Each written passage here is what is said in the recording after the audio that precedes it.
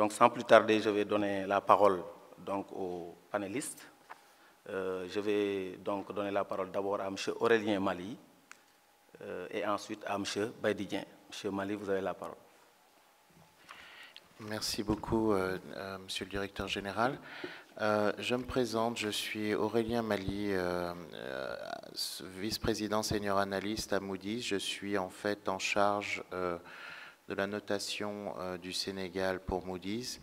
J'ai préparé une, une, petite présentation de 15 minutes, mais il semblerait qu'on ait un peu plus de temps, donc je vais, prendre le temps d'expliquer ce qu'est une notation euh, souveraine et en quoi euh, euh, on peut aussi en, dériver une, opinion sur l'attractivité du Sénégal. Alors je vois que la présentation a été faite en anglais, euh, mais je vais faire la, présentation en français euh, du fait que euh, je vois que peu de personnes utilisent des, des, écouteurs. Je vais me déplacer au niveau du pupitre pour pouvoir faire la présentation. C'est une des trois agences de notation internationales. Nous notons aujourd'hui 19 pays en Afrique subsaharienne et 130 pays au niveau, euh, du, monde entier. Euh, le Sénégal est noté depuis 2011. Euh, Je suis l'analyste en charge depuis la première notation du, Sénégal. Et depuis cette notation en 2011, le Sénégal a émis deux obligations de 500 millions de dollars sur les marchés financiers. Il avait aussi également émis une obligation de 200 millions de dollars en 2009 euh, qui euh, donc n'était pas suffisamment grande pour intégrer les indices euh, de référence. juste une information, le jugement qui a été fait par les investisseurs sur les marchés financiers, sur le risque qu'ils prennent avec le Sénégal a évolué de manière positive puisque en 2011, le taux d'intérêt payé par le gouvernement sur une émission obligataire était euh, supérieur euh, presque à 9%, 8,75%, alors que la récente émission qui a été faite en, août euh, était de l'ordre de 6,25%. Donc il y a une claire diminution de la perception du risque par les marchés internationaux sur le Sénégal. Alors, juste rapidement, je vais vous expliquer comment on note un pays à Moody's. Euh, en 2008, on a publié une, euh, méthodologie en fait qui, euh, qui, a, quatre facteurs. Et c'est une combinaison de facteurs. Depuis, c'est devenu un peu la règle dans l'industrie des agences de notation, en tous les cas pour ce qui concerne le risque souverain. Donc on regarde en fait ce qu'on fait dans une agence de notation, que ce soit un État, que ce soit une entreprise, une banque, que ce soit un projet, euh, une, euh, ville, euh, c'est tous des émetteurs potentiels qui vont émettre de la dette. Et ce qu'on nous demande, c'est d'avoir une opinion sur le risque de défaut de l'entité qui émet de la dette. Donc pour un État et pour un autre émetteur, on va toujours regarder deux choses. La capacité de payer, donc ses obligations, et aussi la volonté de payer. Les États sont un peu particuliers parce qu'ils peuvent faire défaut et ils ne disparaissent pas. Alors qu'une entreprise, par contre, euh, si elle fait défaut, en général, généralement, elle est liquidée, euh, saisie, euh, vendue, et donc elle disparaît. Alors, pour, pour pouvoir juger de la capacité d'un État de payer, on va regarder des éléments comme la solidité de l'économie, la solidité institutionnelle, euh, la force euh, fiscale de l'État euh, et puis aussi la susceptibilité au risque événementiel, c'est-à-dire les, chocs qui peuvent affecter les finances publiques et donc endommager la capacité de l'État à repayer ses dettes. Donc la solidité économique et la solidité institutionnelle sont des choses qui sont très importantes parce que lorsqu'un pays reçoit un choc, la, seule manière euh, de, vraiment euh, pouvoir absorber le choc, c'est que l'économie soit suffisamment solide pour pouvoir résister au choc, ou la deuxième manière, c'est d'avoir des institutions et une élite qui est capable de prendre les décisions rapides pour réagir face aux chocs et atténuer les effets négatifs des chocs internes ou externes. Alors on parlera du Sénégal, on verra qu'il y a beaucoup de chocs euh, internes et externes au Sénégal, euh, dus euh, par exemple à, l'agriculture. On verra quand on regardera la croissance réelle de l'économie. Il y a aussi des chocs externes parce que le, pays est dépendant pour son, son, approvisionnement en énergie et donc a une, et aussi pour son euh, ces importations de, nourriture. Et donc la volatilité de ces, de ces biens affecte effectivement euh, l'économie très rapidement. Alors, les deux facteurs solidité économique que l'on va déterminer en utilisant, euh, par exemple, la diversification de l'économie, le PIB par habitant, le développement humain, du capital humain dans, dans un pays.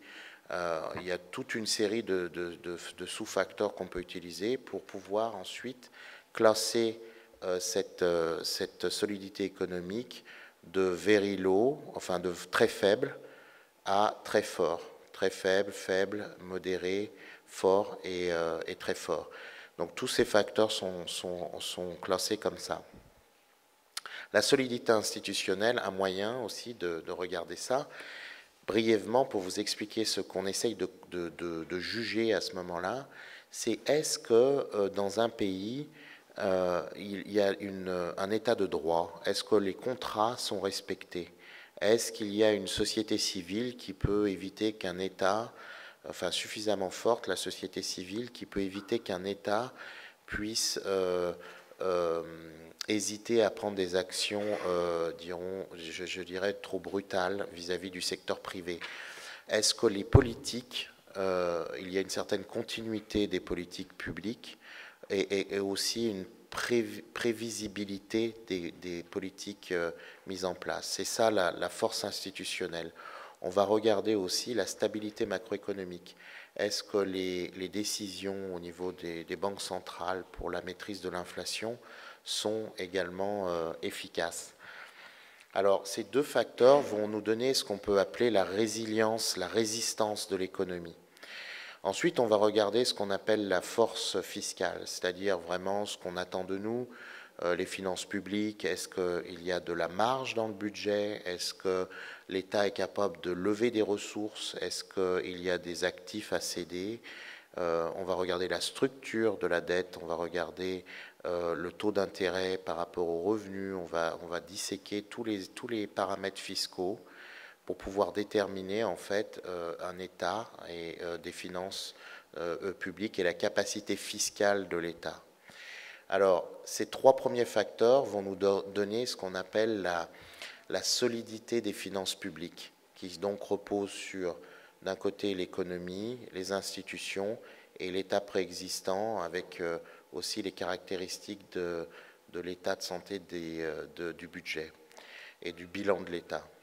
Et enfin, euh, cette, solidité des finances publiques, on va rajouter un facteur qui s'appelle la susceptibilité au risque événementiel, qui peut faire en fait euh, migrer le rating, la, notation. C'est-à-dire que la, susceptibilité au risque événementiel, c'est le risque politique, par exemple. Alors, dans beaucoup de pays euh, au niveau mondial, hein, en Amérique latine, en Afrique, en Asie également, euh, euh, le risque politique est vraiment réel. C'est-à-dire, euh, c'est pas forcément un coup d'État ou une, révolution. Ça peut être comme en, Afrique du Sud, des négociations difficiles avec les, entre les employeurs et les employés qui font qu'il y a des grèves et à in fine, ça affecte la croissance et ça affecte les finances publiques de l'État.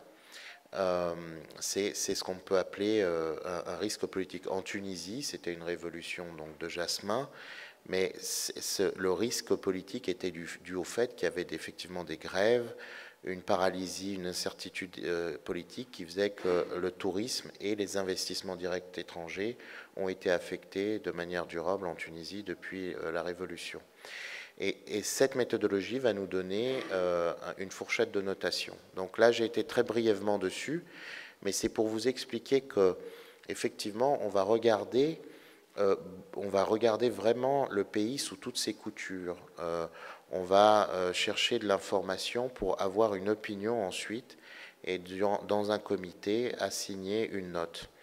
Euh, donc voilà, je, vais m'arrêter là pour euh, cette présentation de la méthodologie. Euh, vu qu'on on a, on a, beaucoup de temps, n'hésitez pas à poser des questions dessus par la suite. Alors le Sénégal est B1. B1, c'est une notation qui est relativement basse. Il faut savoir qu'on démarre à, à 3A, ensuite il y a 2A, après il y a A, à chaque fois c'est A1, A2, A3. BAA1, BA2, BA3. Là, on est en catégorie euh, investissement. Et ensuite, on passe en catégorie spéculative. C'est BA1, BA2, BA3 et B1, B2, B3. Donc le Sénégal est trois notes euh, au-dessus de, des, notes qui démarrent euh, au niveau du défaut. alors, qu'est-ce que ça veut dire? Ça veut dire que, effectivement, compte tenu de son, niveau de développement, euh, le, pays aussi, quand on regarde, et c'est le, graphique que vous, que vous voyez avec des barres bleues qui se réduisent, euh, est euh, en, dans une période de consolidation fiscale. On voit bien que les déficits publics, ces barres bleues, se réduisent depuis environ 2011-2012, la transition entre les autorités de la précédente euh, administration WAD à l'administration euh, Maki Sal euh, depuis 2012, on voit que l'effort de, consolidation fiscale se poursuit en accord avec le FMI. Donc ça, c'est quelque chose de positif en termes de soutenabilité de la dette. Et on voit bien que la dette qui, depuis 2006, c'est la barre orange, qui a doublé pour passer de 23% après l'annulation de la dette à 43% aujourd'hui est en train de se stabiliser, ce qui est quand même quelque chose d'important. Un autre élément qu'il faut souligner, c'est aussi le fait que euh, c'est la barre bleue, euh, la barre euh, verte, la croissance de l'économie qui évolue en dents de hein, et c'est là où on voit les chocs, et j'y reviendrai plus tard, est en train d'augmenter petit à petit. En tous les cas, euh, depuis le bas euh, qui était à 1,7% en, 2011. Euh, on a une croissance qui, commence à, redépasser les, 5% à, partir de cette année et l'année prochaine. Donc c'est quelque chose de, positif. Un autre élément aussi, je suis désolé pour le, graphique et la légende, quand on a, transformé ça en PDF, euh, c'est l'inflation. On voit bien que le Sénégal, c'est la petite barre orange, a très peu d'inflation. Donc ça, c'est très positif parce que il peut y avoir des pays qui ont des croissances très, beaucoup plus importantes à ce niveau de développement, mais qui ont beaucoup d'inflation. À ce moment-là, ça veut dire que les pauvres deviennent plus pauvres parce que généralement l'inflation est supérieure à la croissance réelle. Et au Sénégal, ce, n'est pas le cas. L'inflation étant maîtrisée, euh, si l'État est capable de maintenir une croissance au-delà de 5%, ça veut dire qu'il va réellement y avoir un impact sur les, euh, populations les plus, euh, les, plus, les plus pauvres du pays. Alors, comment le Sénégal compare par rapport à d'autres pays dans la, dans la sous-région? Alors, bien sûr, notre échelle est globale, donc on va, on va comparer le Sénégal à des pays comme la Bolivie, comme le Vietnam, etc. Mais dans la région, on voit que la notation du Sénégal, c'est B1. La Côte d'Ivoire est B1, mais avec une perspective positive. Le Kenya est B1 aussi. Le Mozambique est B1. Et euh, donc c'est la même notation pour tous ces pays. Alors on peut regarder que, euh, par exemple, le facteur 1, qui est la solidité de l'économie, le Sénégal est euh, faible plus. L, c'est l'eau, donc faible plus. Comme la Côte d'Ivoire est faible, euh, le Kenya a une, économie qui est jugée euh, un peu plus solide, à modéré euh, moins. Le Mozambique est, à la même, à la même faible plus. Alors en termes de taille de l'économie, on voit bien que le Sénégal est plus près du Mozambique. Le Mozambique a un énorme potentiel parce que c'est dû à ses ressources gazières et, de charbon. Le Kenya, c'est plus une économie qui se développe également sur les services, euh, un peu comme, le Sénégal, mais qui a déjà un marché de, capitaux relativement développés qui, leur permet de, financer des infrastructures. Le, facteur, on voit bien aussi que la croissance, hein, qui est la croissance moyenne du PIB entre 2009 et 2018, pour le Sénégal, c'est que 3,7, ce qui est faible pour un pays, encore une fois, à ce niveau de développement. La Côte d'Ivoire, c'est 6,7, euh, le Kenya 5,1, le Mozambique 7,5. Donc vraiment, c'est quelque chose où, et c'est pour ça qu'il y a un plan euh, Sénégal émergent, on y reviendra un peu plus tard, il y a vraiment un effort qui est fait de ce côté-là pour essayer d'améliorer euh, la croissance du pays. Il faut aussi noter que le, Sénégal a, vraiment identifié les contraintes disons, pour la croissance, c'est vraiment les infrastructures, l'énergie, euh, qui est vraiment un problème. Euh, surtout si euh, le plan c'est de développer l'industrie ou le secteur minier, il y a besoin d'énergie dans ces secteurs.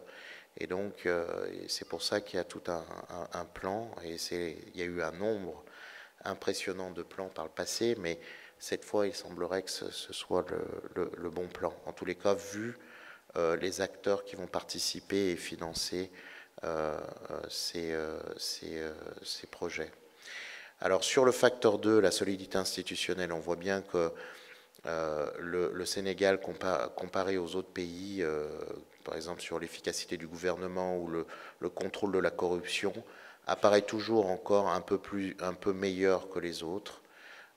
même si on a bien noté un point d'inflexion depuis la nouvelle administration en termes d'état de, droit, de tous les, indicateurs de gouvernance de la Banque mondiale ont commencé un peu à s'améliorer, alors qu'il y avait eu, euh, il faut le, dire, une détérioration notable, surtout dans, la deuxième, euh, dans le deuxième mandat de, l'ancien président.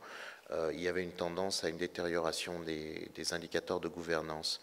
Donc on va voir si effectivement ces efforts vont se prolonger. La perception euh, de, la, disons, de la gouvernance, de l'amélioration de la gouvernance va se, va se poursuivre dans le futur. L'inflation, on voit bien que le Sénégal, là, bat pratiquement tous les pays.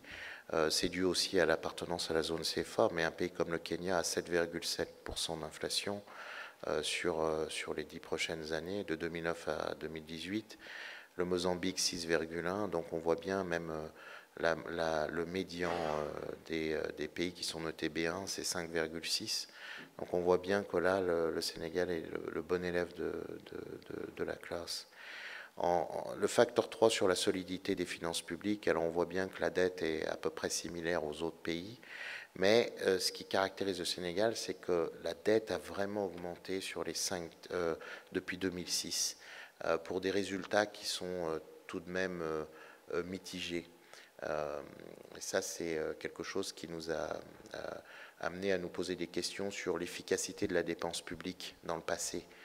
Euh, après une remise de dette de plus de 50%, qui a permis à l'État d'avoir une dette de 20% en 2006, on, est, on a redépassé les 40% en 2012.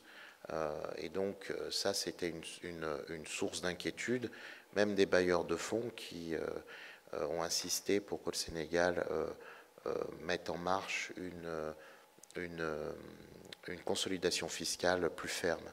Ce que pour l'instant l'administration présente a réussi à faire, c'était les, barres bleues du, slide précédent. sur le risque politique, enfin le risque événementiel, alors le risque événementiel, c'est aussi le risque dans les, dans les banques, c'est également le risque d'une balance des de crise de balance des paiements, c'est le risque de liquidité pour le gouvernement le Sénégal euh, est, meilleur. On, est, vraiment conscient de la, de la, caractéristique du Sénégal avec ses confréries, avec euh, la capacité de la stabilité euh, aussi politique, le fait qu'il y a eu des transitions démocratiques bien ancrées au Sénégal. Et ça, c'est vraiment quelque chose, c'est une force pour le Sénégal. Pour tout investisseur de long terme dans un pays, la stabilité d'un État est, est très importante. C'est pour ça que le Sénégal est noté euh, euh, faible plus, alors que des pays comme le Mozambique, euh, c'est modéré moins, le Kenya, c'est modéré, et même la Côte d'Ivoire, on l'a vu avec la, courte, la polarisation politique qui a caractérisé la vie politique de Côte d'Ivoire durant les, 20 dernières années, depuis le décès du président Houphouët-Boigny, est quelque chose qui, malheureusement a conduit à la fin à une guerre civile courte mais intense en termes d'effets sur le pays. Donc voilà, je, vais passer euh, au slide suivant. Euh, juste ici, euh, c'est un, slide qui parle en fait des, des secteurs à moyen terme qui vont être porteurs au Sénégal. C'est le, je suis sûr que vous en avez entendu parler durant la précédente, les, deux précédentes journées. Le transport, l'énergie, les mines. Il faudrait rajouter aussi le pétrole avec la découverte de pétrole au large du Sénégal. 250 millions de barils de pétrole avec 90% de, de, certitude. Ça peut effectivement être un, changement en termes de, euh, de, protection vis-à-vis des chocs externes et internes dans le futur si l'État construit un, coussin de sécurité avec euh, ses revenus euh, qui arriveront dans le futur. Donc bien sûr, en termes de force, la stabilité politique, j'en ai parlé. La location géographique n'est pas sous-estimée. Hein, euh, on parle de hub pour l'Afrique de l'Ouest, euh, c'est quelque chose de réel. Euh, bien sûr, le fait que la, monnaie soit stable.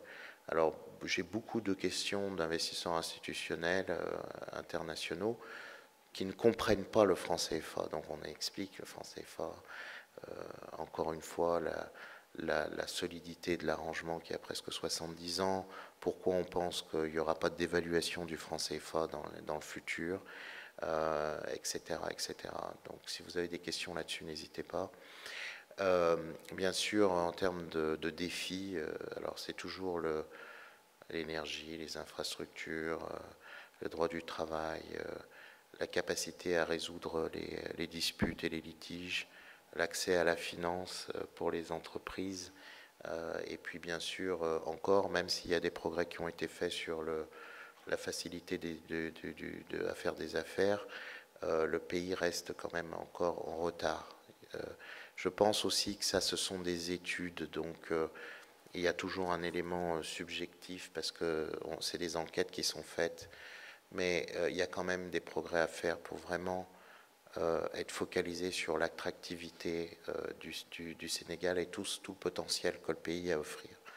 Alors, on voit bien sur la contribution de la croissance, les barres vertes, ce sont l'agriculture, et on voit bien qu'au début des années 2000, il y a eu un grand effet négatif, comme en 2011 également, et on voit que ce qui fait, ce qui fait, ce qui, on voit bien les chocs sur la croissance, euh, qui fait que euh, le, souvent, l'État euh, a, dû, euh, par exemple, augmenter les subventions. On se rappelle en 2008-2009, à cause de, l'envol des, prix des matières premières agricoles, il y a eu des, subventions sur la nourriture, ce qui est compréhensible. Il y a eu aussi des subventions qui ont coûté beaucoup, beaucoup d'argent sur l'électricité et qui ont affecté les, finances publiques du pays. Donc ces éléments sont des choses qui déstabilisent parce que quand il y a un, déficit trop important et une dette qui vient euh, moins soutenable que d'habitude, eh bien, il y a une frilosité des investisseurs, le, coût de la dette augmente, le coût de, euh, du financement de l'État augmente, euh, il y, a il y, a une pression fiscale plus accrue sur les acteurs économiques. Et donc ça, ce sont aussi des choses qui, à long terme, peuvent affecter des décisions d'investir dans un pays qui laisserait filer ses finances publiques. Euh, donc on voit aussi le point d'inflexion depuis 2012 sur les, euh, les indicateurs de gouvernance. Il faut hein, conclure. je, vais, hein. conclure, on arrive. Donc, donc le secteur minier, vous en avez entendu parler, il est de plus en plus important, en particulier sur tous les autres, euh, les nouveaux minéraux. Euh, c'est un, secteur qu'on suit et l'appartenance à l'ITIE est aussi positive. Euh, juste 30 secondes sur ce graphique.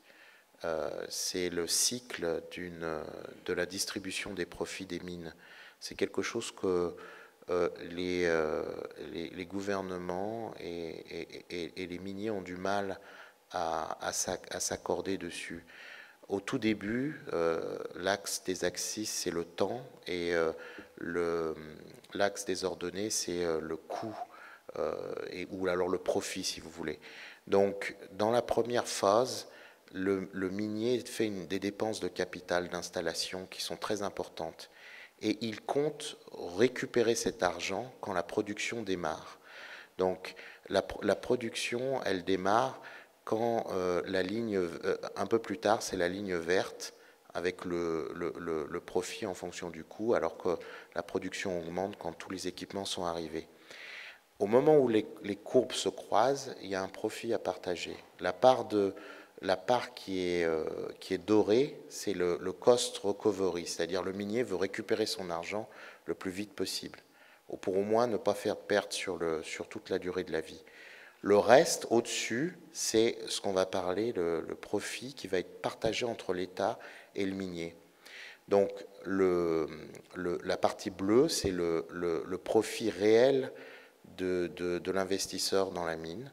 Et la partie orange, c'est le, le, profit qui va être rétrocédé à l'État, qui augmente avec le temps. Alors, il est évident que, comme le temps est très long, on parle de peut-être 30 ans là, sur toute la période, l'État veut rapidement, après une dizaine d'années, commencer à vraiment toucher des dividendes sur le, le, partage du profit. Et, et c'est là où il y a une dispute entre les miniers et, et l'État. C'est sur cette partage de cette rente. Alors il faut savoir que ça, c'est un graphique euh, mais si les prix de la matière première s'effondrent, tout le partage de, la rente est peut-être mis en cause. Mais une chose est sûre, c'est que le retour sur investissement, au moins la partie euh, dorée, doit être récupéré par euh, l'investisseur euh, originel. Alors j'arrête, c'est fini. voilà, juste sur les, les, risques sur le rating, parce que ça c'est important pour les investisseurs. Euh, il peut y avoir une pression positive sur la note du Sénégal, en particulier si effectivement la consolidation fiscale se, poursuit et, que la dette euh, se, limite et commence à baisser. Il y a également aussi euh, une augmentation soutenue du, rythme de croissance qui va permettre aussi d'améliorer les choses, peut-être aussi positif pour la notation. Euh, bien sûr, euh, la compétitivité du secteur privé, quelque chose qu'on regarde, c'est vraiment important. Les, facteurs de productivité ont baissé au Sénégal entre 1995 et 2012, ce qui est bizarre parce qu'il y a eu beaucoup d'investissements quand même dans les, dans les infrastructures. Et puis aussi, euh, bien sûr, le coût de l'énergie et les transactions, c'est des choses qui peuvent avoir un effet positif s'ils sont réduits. Il peut y avoir des effets négatifs, bien sûr, et ça, c'est des dérapages fiscaux, une incapacité également à maintenir la, consolidation fiscale maintenant que la dette est élevée. Et puis, euh, bien sûr, euh, tout est fait euh, sur le coût de la dette et puis également le, règlement des, problèmes sur les infrastructures, l'incapacité à vraiment pouvoir permettre le, potentiel total du pays de, se, de se développer. Voilà, j'arrête. Merci, je suis désolé. Merci, M. Mala la, bonne présentation sur le plan international et sur le plan sous-régional. Donc je fais noter que notamment sur, dans le domaine de l'énergie, on est en train de faire des efforts sur le plan des infrastructures de communication également, avec des infrastructures aéroportuaires, portuaires euh, et routières évidemment. Sans plus tarder, donc je vais donner la parole à M. Raymond Sagna, donc, qui va intervenir à la place de euh, Paul Dominique Correa. Je précise qu'on doit terminer donc euh, cette session à 10h40. Donc je demanderai aux intervenants de, respecter le timing. Monsieur Sagna, vous avez la parole. Merci, Monsieur le Président. Donc, euh, aussi à l'Assemblée qui a bien voulu nous écouter ce matin. Donc, je viens donc remplacer donc, Monsieur Dominique pour vous entretenir en quelques mots sur en fait qui est l'initiative pour la transparence dans les industries extractives. En fait, pour comprendre un peu une petite genèse en fait de cette initiative au niveau donc du Sénégal, il faut rappeler donc qu'à la suite donc du code de 2003, le Sénégal en fait dans la recherche donc euh, de cette transparence donc avait donc pris en fait des décrets relativement pour en fait, le fonds de réhabilitation des sites, mais aussi pour en fait, la, en fait, la rétrocession d'une partie en fait, de, la rente minière donc, aux collectivités locales, qui s'est traduit par le fonds de péréquation. Toujours pour renforcer ce dispositif par rapport à la transparence, le Sénégal, donc, depuis donc, euh, dans les années 2010, a commencé à travailler donc, sur la question de l'initiative pour la transparence dans les industries extractives. Et ce n'est qu'en 2012 que la position officielle du Sénégal a été donc traduite donc, au secrétariat national, euh, international de l'ITIE pour en fait marquer le désir en fait, du Sénégal de participer pleinement à cette initiative. Et donc, depuis lors, donc, des travaux donc, ont, été, ont été donc entamés, conformément bien sûr aux règles de l'ITIE, en fait, qui, sont bien précis en termes d'adhésion, puisqu'en fait, la première partie, c'est donc l'adhésion de la structure du pays. Et donc, le Sénégal, donc, depuis 2012, a travaillé pour pouvoir déposer un dossier qui a été donc validé en octobre. Et donc, depuis octobre 2013, le Sénégal a été déclaré comme pays euh, candidat à la mise en œuvre de VITIR. Certes, c'est une partie de gagner. Du chemin encore reste en fait pour en fait arriver à ce qu'on appelle la, la conformité. Donc c'est en, fait lorsque vous êtes déclaré comme pays conforme que vous êtes pleinement en fait dans VITIR. Et donc après donc l'adhésion, donc nous avons poursuivi euh, donc euh, les travaux. Il faut dire que deux jalons importants donc, de l'adhésion à l'ITIE, c'était la création d'un comité national ITIE Sénégal, lequel comité compte trois collèges, un collège de la société civile, un autre pour l'administration et un autre pour en fait euh, euh, pour les compagnies minières. Et donc tout cela donc est régi dans un décret avec bien sûr des proportions pour chaque collège. L'autre axe majeur, en fait, dans le cas de l'adhésion, c'était la nomination donc, de hauts fonctionnaires comme président, du, euh, président ou coordonnateur du comité national. Et donc, cela a été fait aussi à la personne euh, du professeur Ismaël Majorfal. Donc, ce comité, donc, après l'adhésion, donc, a poursuivi ses travaux. Et le premier challenge, c'était en fait de réaliser l'étude de cadrage qui permettait en fait de définir le périmètre utile, de définir quelles sont les sociétés, si je veux le résumer ainsi, quelles sont les sociétés qui seraient donc concernées dans le cadre de la validation, parce que tout simplement l'ITIE, c'est en fait une publication des revenus par en fait un administrateur indépendant. Ces revenus en fait sont pris, sont confrontés entre ce qu'on reçoit des sociétés ce que l'État reçoit de ces sociétés et ce que l'État en fait déclare avoir reçu. Donc cette étude de cadrage donc, a été faite donc, euh, et donc abouti à des conclusions en retenant quand même, en proposant des pistes de réflexion par rapport donc, euh, au périmètre qui serait donc réservé pour l'ITIR. Le deuxième axe maintenant, c'est en fait la collecte des données qui vont permettre en fait de, de, publier un, rapport. Et donc cette deuxième phase donc est entamé donc avec euh, ce qu'on appelle la, conception des formulaires. Parce qu'en fait, dans ces formulaires, n'oubliez pas qu'il y a deux parties qui déclarent, c'est l'État et les compagnies minières. Donc nous avons donc aujourd'hui donc nous sommes en train de concevoir en fait des formulaires pour la déclaration de l'État, d'une part, et d'autres formulaires pour les déclarations des compagnies minières, en fonction bien sûr du permis qui est retenu. Et donc, euh, puisque nous avons la candidature d'adhésion a été acceptée en 2013, en 2013, il se trouve que nous avons deux ans en fait dans les règles de Vitier de 2011, que nous avons deux ans pour en fait publier le, premier rapport. Et donc nous comptons pour le Sénégal publier le premier rapport au mois de janvier 2015, pour pouvoir en fait vers la fin de l'année publier un autre rapport afin que en 2000 vers fin 2016 qu'on puisse se présenter comme euh, à la candidature pour la conformité. Ce qu'il faut dire, euh, l'arrivée du Sénégal, quand même, on pense qu'en fait, le Sénégal, quand même, dans ce dossier, avance très rapidement. Parce que tout simplement, nous avons eu la chance, même étant le dernier de l'espace UEMOA, parmi les derniers, parce que si vous regardez bien l'espace UEMOA, l'essentiel des pays sont déjà des pays conformes, à quelques exceptions près. Je pense que pour l'instant, il n'y a que le, Bénin et la Guinée-Bissau qui ne sont pas encore dans Vitier, mais sinon, pratiquement tous les restes sont déjà des pays conformes ou des pays qui, mettent, qui, qui vont vers la validation. Donc le Sénégal a été choisi, malgré qu'il soit un des plus jeunes dans l'initiative, a été choisi donc au mois de septembre pour abriter un atelier des coordonnateurs nationaux, en fait, suivi Donc il s'est tenu donc ici à Dakar. Donc voilà donc quelques éléments donc, que je souhaitais mettre à votre disposition, tout en revenant dans les questions pour peut-être euh, amener d'autres précisions par rapport donc aux questions qui sont. Merci, Monsieur le Président. Merci, monsieur. Merci, monsieur Sagna, d'avoir un environnement attractif pour les investisseurs. Donc, je passe la parole à monsieur Baïdidien.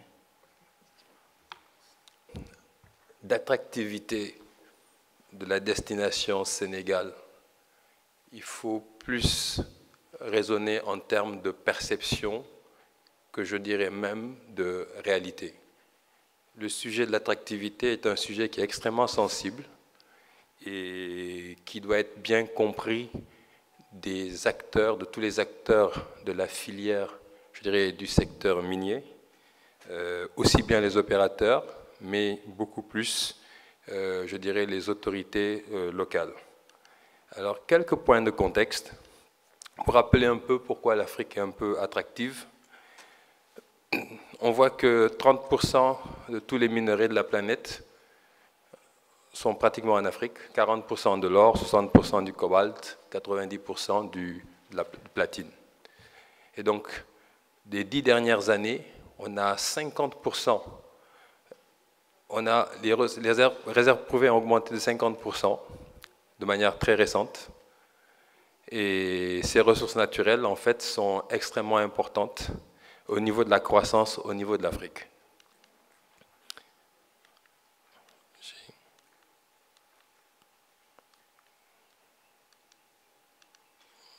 Voilà. Donc quand on se replace dans le contexte, quand on parle d'exploration minière, on parle d'investissements lourds, des investissements qui sont irréversibles. Et celui qui investit a pratiquement très peu de possibilités de céder ces investissements-là.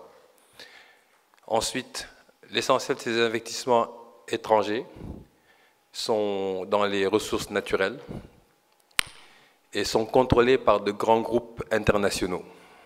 Eux qui sont capables de supporter la lourdeur de ces investissements, mais qui en plus ont ces capacités d'influer sur les cours euh, des minerais qui sont produits. Donc un élément à avoir à l'esprit, c'est que 17% des dépenses d'exploration, euh, l'Afrique représente 17%, euh, pour des dépenses d'exploration d'ordre de grandeur de 23, entre 20 et 30 milliards de dollars US, pour montrer un peu la lourdeur et l'importance. Donc quand on parle de la problématique de l'investissement, j'ai voulu la décliner du point de vue des investisseurs. À la dernière Mining Conference à Indaba, en Afrique du Sud, L'accent a été mis sur euh, les incertitudes croissantes que ressentaient les investisseurs à propos de l'environnement réglementaire et du régime fiscal des pays producteurs.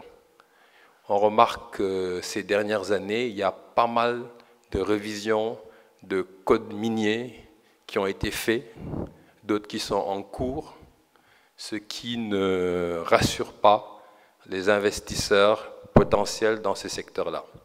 Donc on a un effet dissuasif et mécaniquement, on a un effet euh, de baisse d'attractivité. Alors que pour beaucoup d'États, le Sénégal étant un nouveau pays, je dirais, minier, euh, il y a quand même un fort besoin euh, de faire venir d'importants investisseurs. Deuxième point que l'on remarque, c'est la volonté nette, et donc c'est lié à ces révisions de code minier qui sont en train de, se faire euh, en ce moment. C'est la volonté nette des gouvernements d'accroître clairement leurs revenus du secteur minier. Donc euh, ça rappelle un peu l'interlocuteur précédent de Moody's quand il parlait un peu de la, entre guillemets, la dispute du partage de la rente minière. On est aussi dans un contexte de chute de l'or qui met une forte pression et qui en fait euh, peut faire reviser à la baisse les prévisions de résultats et de profits que les investisseurs font alors qu'ils ont en face d'eux des interlocuteurs étatiques qui sont, je dirais, pressés eux aussi d'avoir leur part du gâteau. Donc la problématique ici, en réalité, c'est qu'il y a clairement une nécessité de partenaires entre les investisseurs étrangers, qui sont les gros acteurs dans le secteur, et les États, en sachant et en devant avoir la compréhension que les intérêts, en jeu sont des intérêts qui sont en fait réciproques. Si on raisonne dans une logique à moyen et long terme, les intérêts devraient être réciproques. Mais à la pratique, les perceptions ne sont pas du tout, euh, en fait, euh, euh, ce n'est pas forcément le cas, ce n'est pas perçu comme tel. Alors, là, je prends des termes pour ne choquer personne. C'est pour l'exercice, euh, pour juste l'exercice auquel on se soumet ce matin. Il y a, dans le contexte, il y a des risques communs qu'on a à tous les pays africains. Il y a ce qu'on appelle le risque de hold-up. Donc, les investissements étant irréversibles, avec des comportements entre guillemets opportunistes des administrations, qui elles sont tentées à une revision de la charge fiscale, dès que l'investissement est bouclé alors que la phase de retour sur investissement pour les investisseurs peut être beaucoup plus longue, spécialement quand on, observe des fois des chutes des cours. Deuxième point, c'est le problème de partage de la rente minière, sur lequel il faut arriver à trouver une, euh, une, une, je dirais une juste équité dans le temps. Parce que d'un côté, on a des gens qui ont pris un risque extrêmement important, sur des cycles qui sont très longs et sur lesquels euh, l'État, en général, dès qu'il y a phase production qui commence et a envie, ça peut être légitime, ça peut être compréhensible, de tout de suite percevoir des revenus. Un point aussi de contexte, c'est la stabilité des régimes politiques. Si on prend l'exemple du Sénégal, c'est historiquement un pays relativement stable. Euh, quand on regarde l'histoire, effectivement, c'est vrai. Donc quand on regarde le futur, il faut que ça continue à être vrai sur les 30 prochaines années à venir.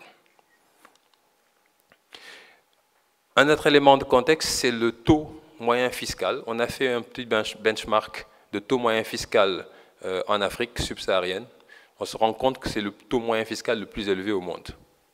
Euh, la moyenne mondiale est à peu près à 43%. Bon, le Sénégal se retrouve à peu près à 45%. Euh, on a d'autres pays dans la sous-région qui sont beaucoup plus élevés que ça.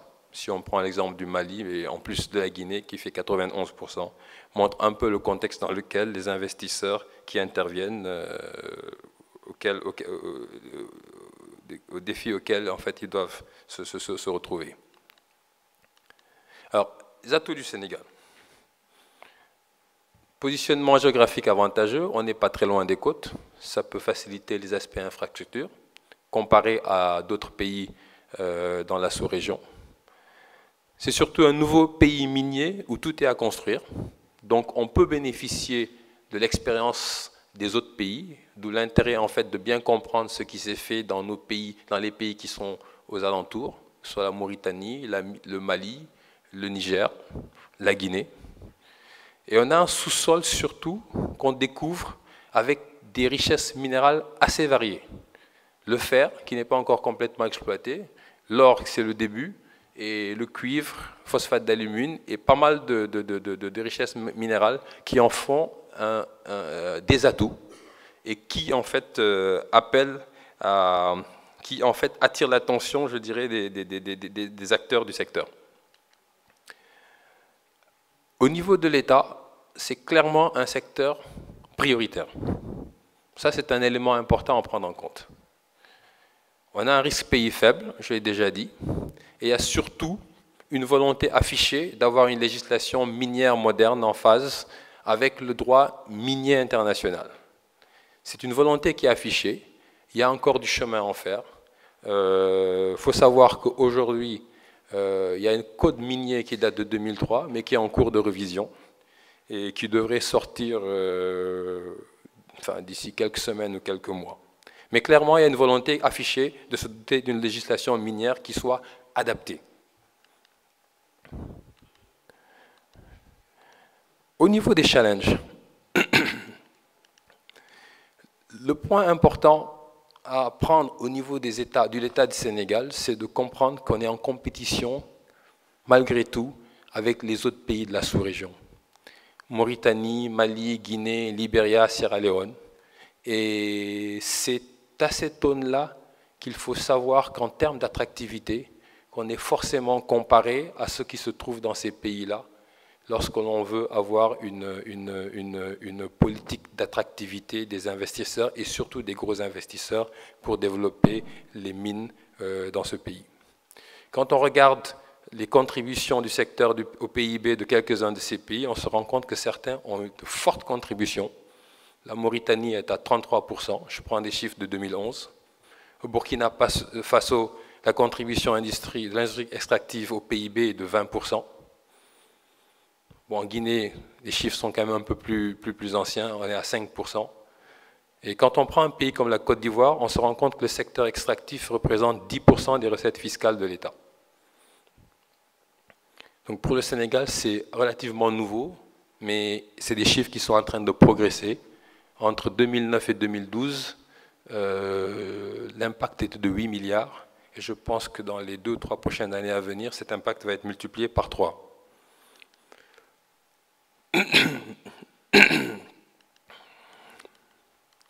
Donc, quelques points que je voulais prendre au niveau des difficultés communes à tous les pays africains. Lorsqu'on est un exploitant minier euh, qui s'installe, c'est des points très précis, très concrets. C'est des problèmes de restitution de crédits de TVA. Donc, on a des crédits de TVA euh, qui résultent du fait que l'essentiel de la production est faite vers l'exportation.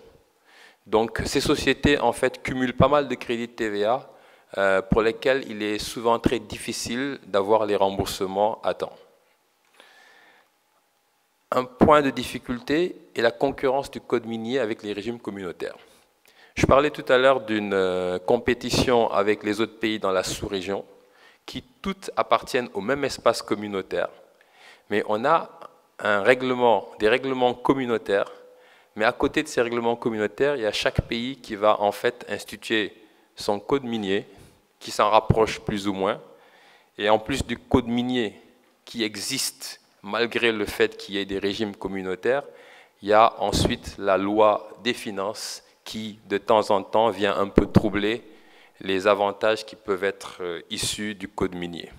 Ce qui ne facilite pas toujours euh, l'exploitation euh, au niveau des sociétés minières qui investissent dans, dans, dans, nos espaces, euh, parce qu'on est dans une logique qui peut tout à fait surprendre certains des investisseurs. C'est ce que l'on appelle un peu le fait, le fait du prince. Alors, des éléments de cession directe et indirecte de titres miniers euh, interviennent assez souvent au niveau des sociétés minières, je dirais un peu à l'étranger, mais qui possèdent des activités d'exploitation dans nos pays sur lesquels il y a des droits d'enregistrement et des taxes sur des plus-values. Certains pays appliquent ces taxes, des taxes sur des transactions de cette nature. Euh, d'autres, en fait, euh, en font complètement exemption.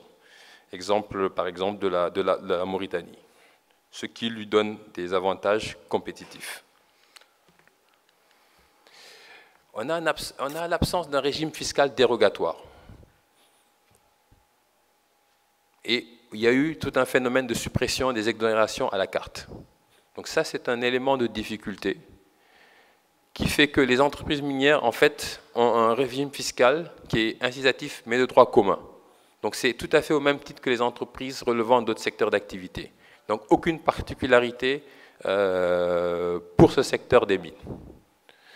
On a un point qui n'apparaît pas souvent quand un investisseur vient euh, au Sénégal par exemple, c'est l'exigibilité des retenues à la source BNC, IRC, même durant la phase d'exploration.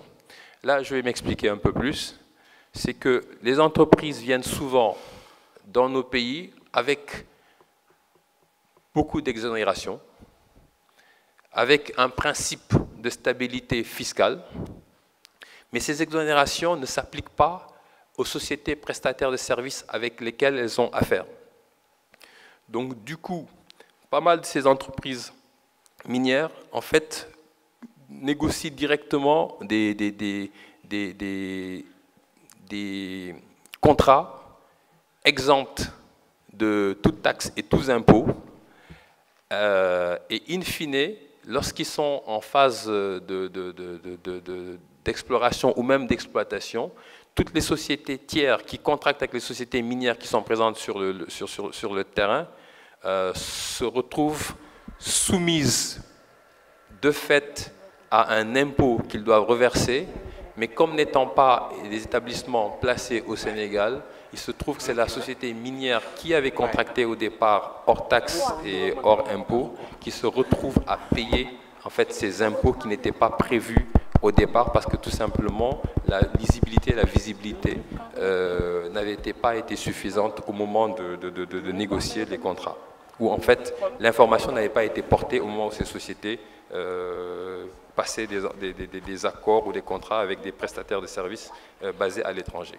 Monsieur Dien, il faut conclure. Hein. Alors, absence d'un congé fiscal transitoire après la phase d'exploitation, c'est en fait toujours le, problème de la dispute autour de la rente.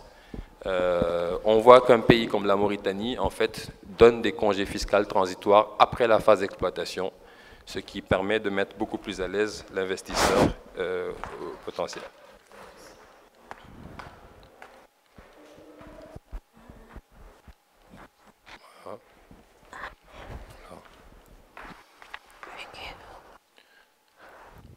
Je, vais peut-être m'arrêter là et voir s'il y a des questions plus tard, euh, vu que le temps est passé plus vite que je ne le voyais.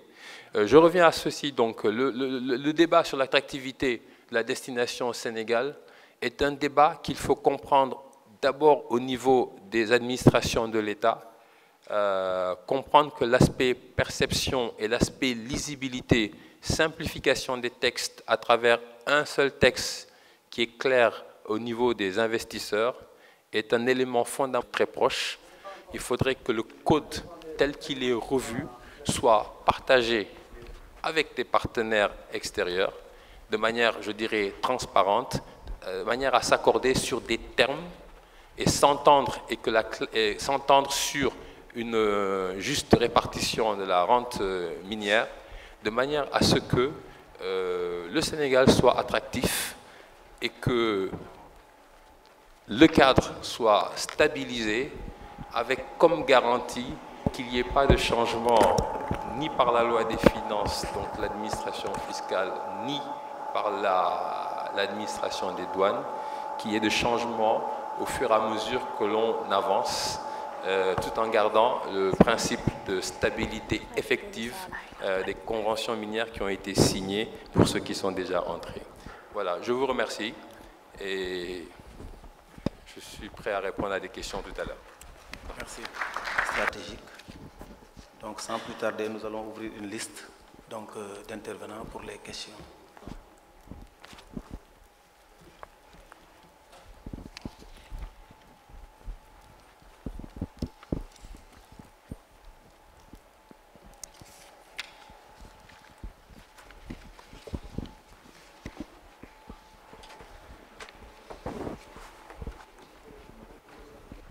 Les discussions sont ouvertes. Hein. Euh, bien sûr, ils veulent récupérer leur investissement le plus rapidement possible, mais euh, au contraire, que le manque à gagner de l'État était significatif. Donc il faut un, équilibre, je suis entièrement d'accord avec vous, mais euh, je pense que les grandes sociétés peut-être si, un projet dépend de ces exonérations, c'est probablement pas en prévoyant un projet très fort. Il y a d'autres manières d'assurer le, retour sur l'investissement relativement rapide. Alors, c'est un commentaire. Euh, je vous remercie. Pour dernier intervenant, c'est pour euh, lui demander quelques faisceaux de lumière sur euh, les difficultés que le Sénégal traverse euh, il nous a cité par exemple euh, les difficultés liées à l'absence euh, d'un régime fiscal dérogatoire au droit commun. J'aurais voulu qu'il nous spécifie, enfin qu'il nous donne un peu, le, pas seulement nous citer cette difficulté-là, mais comment réellement le Sénégal peut sortir de cette difficulté euh, parce que nous en avons besoin. On doit présenter le rapport et si les difficultés persistent, ça peut nous bloquer sans doute lors de notre présentation du rapport. Et la dernière difficulté, c'était l'absence d'un congé, mais c'est un, une difficulté qui n'est pas très très bien connue. Euh, peut-être tu peux revenir sur cette euh, dernière difficulté. Je vous remercie ou bien sont les institutions, par exemple, de Bretton Woods, des Nations Unies qui ont mis en place ces agences.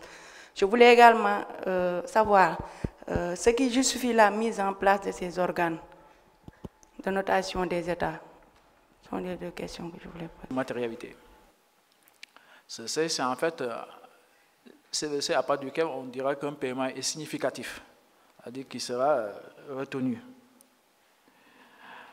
Donc là aussi, a reçu en fait, à partir des données que le consultant avait à sa disposition, le consultant avait proposé un montant de 5 millions CFA, à partir duquel, bien sûr, lorsque le paiement est en deçà de 5 millions, la société n'est pas, le paiement n'est pas considéré comme en fait euh, significatif. Donc maintenant, tous ces deux éléments, le permettre et le de matérialité, sont en fait entérinés dans le cadre en fait euh, par en fait, le validateur, euh, l'administrateur indépendant, avant bien sûr la phase de collecte et de, conception du rapport. Donc, euh, on doit d'abord, il y a une première partie dans son étude qui va permettre en fait de confirmer en fait, de retenir une fois pour tout le, référentiel qui est conçu du périmètre et du set de matérialité, avant maintenant de continuer sur le rapport. Donc, je ne sais pas si j'ai pu répondre exactement à votre euh, préoccupation. Je pense que c'était la seule question que j'avais pour dire. Merci. D'accord, ok. Je suis en fait tout d'accord. Je suis d'accord avec, les remarques que vous avez faites. Hein. C'est vrai que dans une simplification, j'ai mis tout le monde dans le même panier. J'ai mis grande compagnie multinationale. En fait, je voulais dire investisseurs extérieurs. Mais effectivement, il y a les grandes multinationales, il y a surtout les, les, les junior entreprises qui, elles, ont l'esprit un peu plus entrepreneur, qui prennent des risques et qui sont très limités en termes d'accès au, financement. Vous avez tout à fait raison, mais ce sont eux finalement les véritables entrepreneurs. Mais très souvent, ce sont ce que j'appelle des, des, des ouvreurs de portes.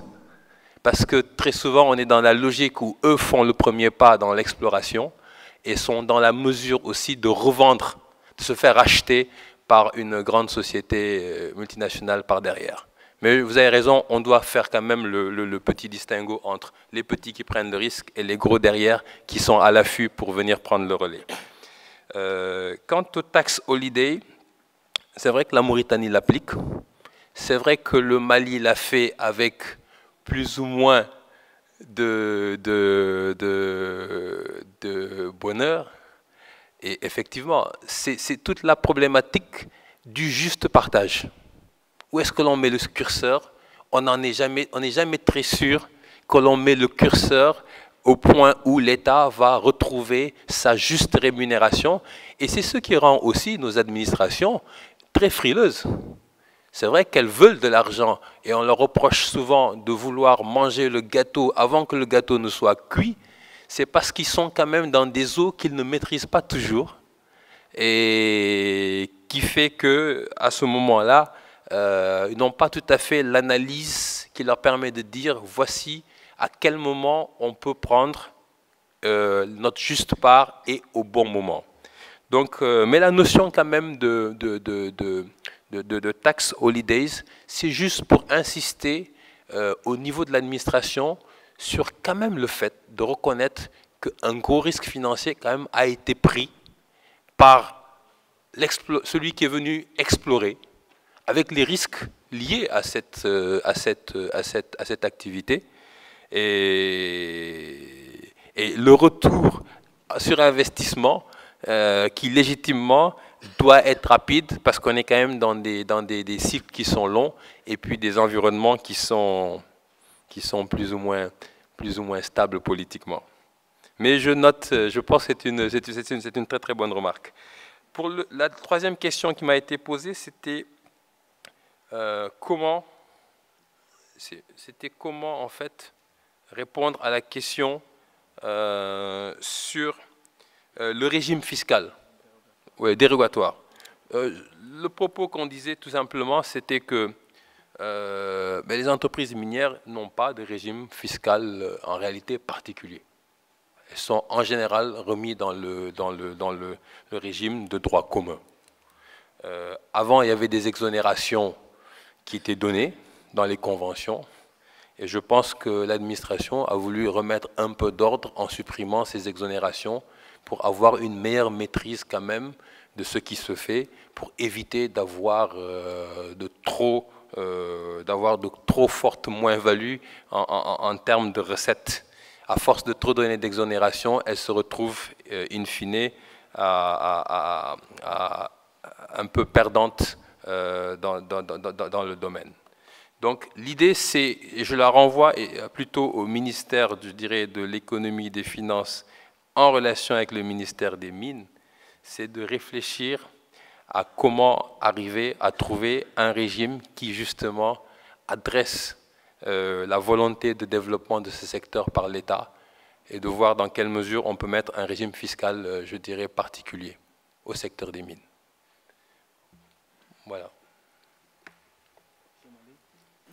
Elles se sont créées elles-mêmes. Euh, je vais expliquer un peu en ce qui concerne Moody's.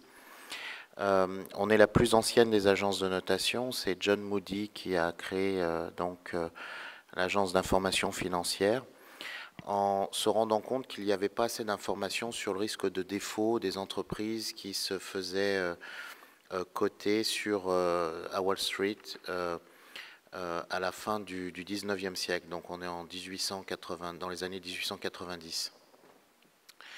Et il a commencé à publier, donc il a créé l'échelle de notation, qui est utilisé par nos concurrents d'ailleurs, puisqu'il a fait faillite euh, dans les années, euh, dans les années 20, et ensuite il a recréé l'échelle qu'on utilise à l'heure actuelle.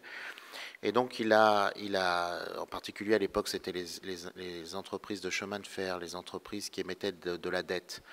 Et en créant l'échelle de notation, il dit, bon voilà, triple A, il n'y a, pratiquement pas de risque, j'ai du mal à voir un risque que cette entreprise fasse défaut jusqu'au euh, C euh, qui dit voilà l'investisseur a une grande chance de perdre de l'argent euh, s'il prête à ces, entreprises. Rapidement, il a imprimé, je crois, quelque chose comme 200 feuillets qui reflétaient son analyse. Au bout d'une heure, tout avait été écoulé. Et c'est là qu'il a créé l'agence Moody's. Mais euh, ensuite, l'information, les, marchés financiers se sont développés et le besoin d'information de l'investisseur qui prête de l'argent, euh, euh, c'est quelque chose qui a été étudié et qui s'est développé. Si vous voulez, une agence de notation, c'est vraiment un intermédiaire qui émet une opinion sur le risque de défaut d'un émetteur et donc qui permet en fait le lien entre d'un côté les épargnants, ceux qui ont des capitaux à investir, et puis les émetteurs qui ont besoin de ces capitaux pour financer leurs projets. Euh, donc, donc cette, euh, cette, particularité aussi fait que euh, notre information est publique, c'est-à-dire que nos notations sont publiques et sont disponibles à n'importe qui. Il y a une, je dirais, une, une inégalité à l'accès à l'information entre une banque et puis un investisseur privé qui voudrait placer son épargne. Donc ça aussi, c'est quelque chose euh, d'important. nos, notations ne sont qu'une opinion, ce, sont des éléments qui sont utilisés dans la décision d'investir ou pas, mais en aucun cas ce, sont euh, euh, l'élément central d'investissement. Quant à au développement des agences de notation, alors il y a eu deux grands types de développement. L'un est dû à la bonne pratique, c'est-à-dire que euh, des, marchés de financiers comme ceux en Afrique du Sud se sont développés en disant euh, tout émetteur de dette euh, doit au moins avoir une opinion indépendante d'une agence de notation. et donc c'était sans besoin de régulation, c'est-à-dire que le marché, l'investisseur disait mais vous n'êtes pas noté et il n'y a jamais eu de régulation. Dans d'autres pays, c'est la régulation. Par exemple, le marché communautaire ici a, institué une, règle de, notation euh, nécessaire pour euh, les émetteurs autres que les États. Euh, donc, ça, c'est la régulation aussi qui a permis l'essor de, des notations. Enfin, je voudrais juste dire un petit mot sur le partage de la rente parce qu'on a une opinion à Moody's qui est très claire là-dessus. Euh, c'est vrai que c'est le, problème euh, entre, les investisseurs et, les autorités publiques. Il ne faut pas oublier également que je crois qu'un investissement dans une mine est juste un investissement comme un autre. Euh, il n'y a aucune volonté, alors je vais peut-être pas me faire des amis dans cet auditoire, de venir investir pour améliorer les choses dans un pays, etc. Il y a un investissement, il y a un retour sur investissement qui doit être assuré. Et euh, les États, eux, euh, bah, des fois, ne sont pas assez sophistiqués ou se retrouvent euh, de manière faible à négocier avec des, avec des institutions qui ont plus de moyens qu'eux. pour, pour casser l'idée comme quoi la rente, l'État serait toujours celui qui prend la rente, nous, on classifie les juridictions minières. Par une, une juridiction comme l'Afrique du Sud est très développée, connaît son, son secteur, etc., qui est mature l'Australie, le Canada, etc. Des pays africains, c'est des, juridictions minières qui sont juste en train d'apprendre euh, comment euh, gérer ce type d'investissement. Euh, un pays comme la, République du Congo, démocratique du Congo, exporte un million de, tonnes de cuivre. c'est le premier producteur de cobalt au monde. et, et aujourd'hui, ça représente 10 milliards d'exportations minières sur ses balances des paiements l'État reçoit 200 millions de dollars euh, de, taxes sur son budget. Donc, bien sûr, quand l'État dit je vais renégocier mon, code minier, tous les miniers euh, disent c'est pas possible, on a fait des investissements, etc. Le problème, c'est qu'à l'évidence, il y a un problème de déséquilibre massif sur certains codes miniers qui ont été faits après des périodes un peu troubles, etc., et qui sont vraiment au désavantage du gouvernement. Donc pour nous, on n'a aucun problème à ce qu'un gouvernement s'assoie, discute avec les, intervenants de manière, euh, euh, je dirais, euh, vraiment inclusive, après une longue période, et arrive à modifier un, code minier qui apparaissait visiblement extrêmement déséquilibré, à condition que ça ne détruise pas les investissements ni le secteur. Donc ça, c'est un message que je voulais faire passer en tant qu'agence de notation du souverain. Voilà. De, notre session. Euh, donc, euh, je voudrais remercier les, donc les, intervenants, les panélistes notamment, M. Sagna, M. Dien et M. Donc, euh, Mali. nous avons donc vu que sur le plan de l'attractivité, aujourd'hui, le Sénégal bénéficie de certains atouts indéniables donc euh, notamment en ce qui concerne la stabilité politique, donc euh, concernant tout ce qui concerne le, risque pays, donc la maîtrise de l'inflation, des bons indicateurs de gouvernance. Donc euh, on a un état de droit avec une société civile forte, notre position géographique également, et enfin donc la disponibilité de ressources minérales assez importante. Donc le Sénégal se présente comme un jeune pays dans le domaine. alors il est revenu à plusieurs reprises dans les interventions des uns et des autres qu'il faudrait quand même essayer de conforter la position stratégique du Sénégal euh, au niveau donc de la sous-région, mais au niveau international. Et pour ce faire, il nous faudrait quand même euh, faire très rapidement des, avancées significatives, notamment euh, donc sur le plan donc, économique, mais également sur tout ce qui touche l'environnement fiscal, les finances publiques, l'environnement juridique, notamment avec le code minier, qui devrait être euh, quand même amélioré, parfait. Donc, euh, des questions comme la dépendance énergétique, je pense que c'est des éléments importants qui peuvent pousser également un investisseur à venir au Sénégal. les questions d'infrastructures routières. Mais les débats ont tourné plutôt autour de, principalement des questions fiscales. Hein, généralement, les questions qui ont été posées touche un peu à la transparence, mais précisément aux questions fiscales. Pour dire que la question de la, de la distribution, donc du partage des rentes, est une question centrale. dans cette affaire d'attractivité du secteur minier. Donc je pense que pour notre pays, il est important d'avoir un dispositif qui permet non seulement aux investisseurs d'accepter de venir et de faire ces investissements massifs, mais également que le pays ne puisse pas perdre à ce niveau dans l'exploitation des mines, que ce soit en tout cas gagnant-gagnant, et que véritablement ça permet de relever les défis économiques et, sociaux, n'est-ce pas, qui se posent à notre pays. Je pense donc que cette croissance devrait être une croissance partagée. L'investisseur doit gagner, mais également le pays doit gagner, y compris les populations et les populations locales. Euh, et donc, je pense que des questions comme la transparence l'équité intergénérationnelle, la préservation de l'environnement, mais aussi la formation et l'information dans ce secteur, c'est un, élément de taille. Il faudrait également développer des compétences au niveau national, parce qu'il est clair qu'il y a des asymétries de compétences. Très souvent, l'administration est en face euh, de, de, grandes sommités au plan juridique, donc euh, fiscal et autres, et il faudrait quand même avoir euh, dans l'administration des compétences qui peuvent quand même échanger d'égal à égal avec les investisseurs dans ce secteur minier-là.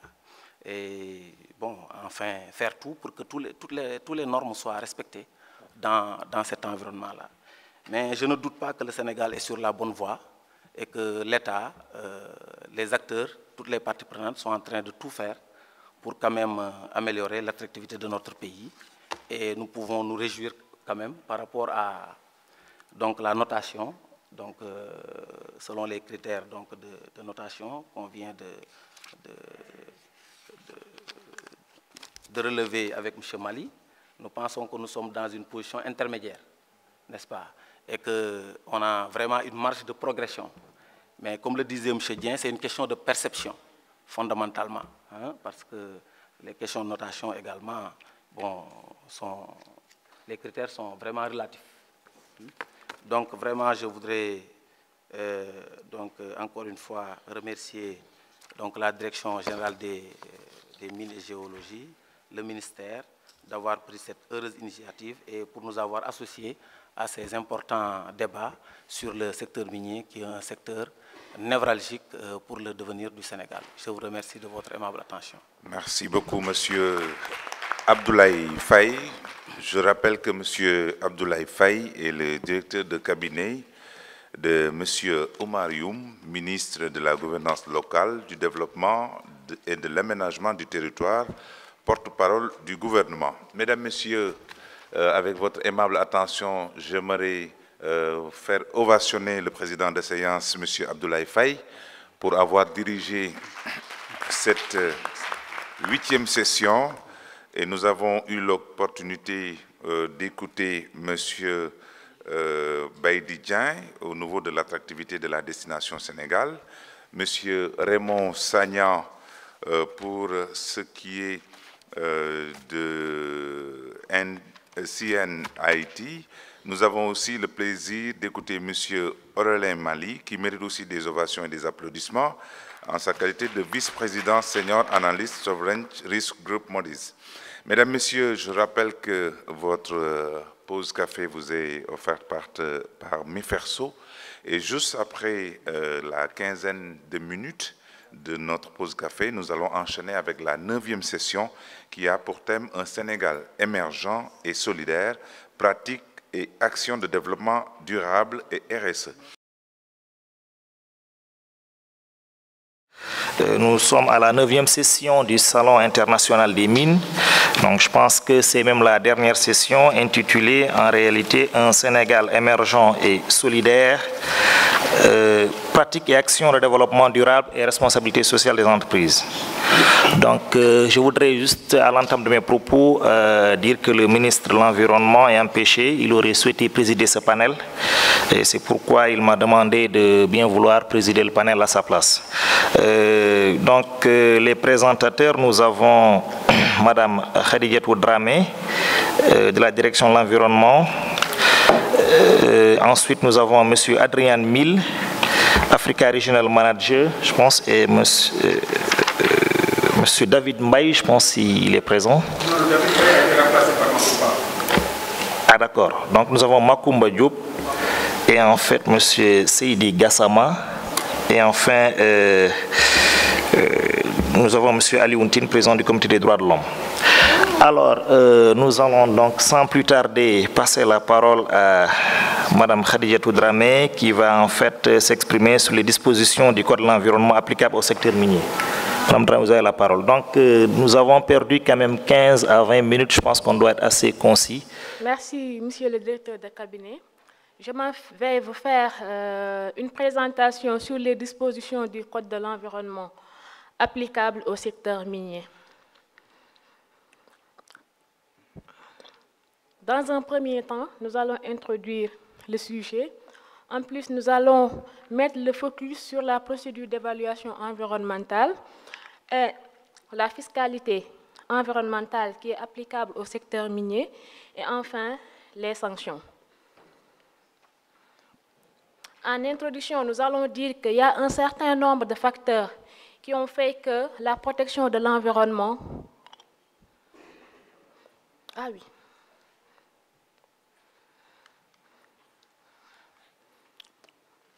Au niveau du sommaire, nous avons l'introduction, nous avons l'évaluation environnementale, la fiscalité environnementale qui est applicable au secteur minier et les sanctions.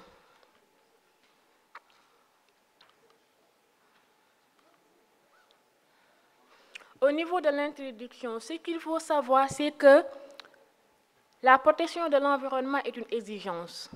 Et le Sénégal dispose d'un code de l'environnement depuis 2001. Il faut partir du, postulat que l'État du Sénégal a adopté les 27 principes de la déclaration de Rio de 1992. C'est une déclaration avec des principes qui font de la, de la protection de l'environnement une exigence, notamment le principe 4 et le principe 17 sur l'évaluation environnementale. Il faut aussi rappeler que le Sénégal a ratifié la presque totalité des conventions internationales sur l'environnement, notamment les conventions sur la gestion des produits chimiques, les conventions sur les déchets dangereux et la convention euh, sur le changement climatique. L'autre facteur, c'est que l'industrialisation accélérée qui a pour effet la dégradation du milieu, la surexploitation des ressources naturelles, les pollutions et nuisances. Et vous allez convenir avec moi que les sociétés extractives et minières sont le plus souvent des facteurs de dégradation de l'environnement, du fait de l'utilisation de certains produits chimiques dans le processus d'exploration ou d'exploitation.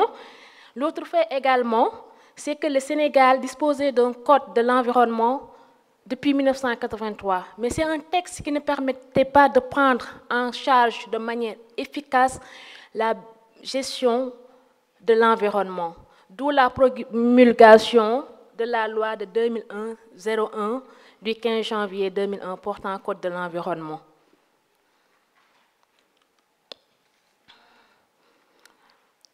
Au niveau du titre, pourquoi l'évaluation environnementale?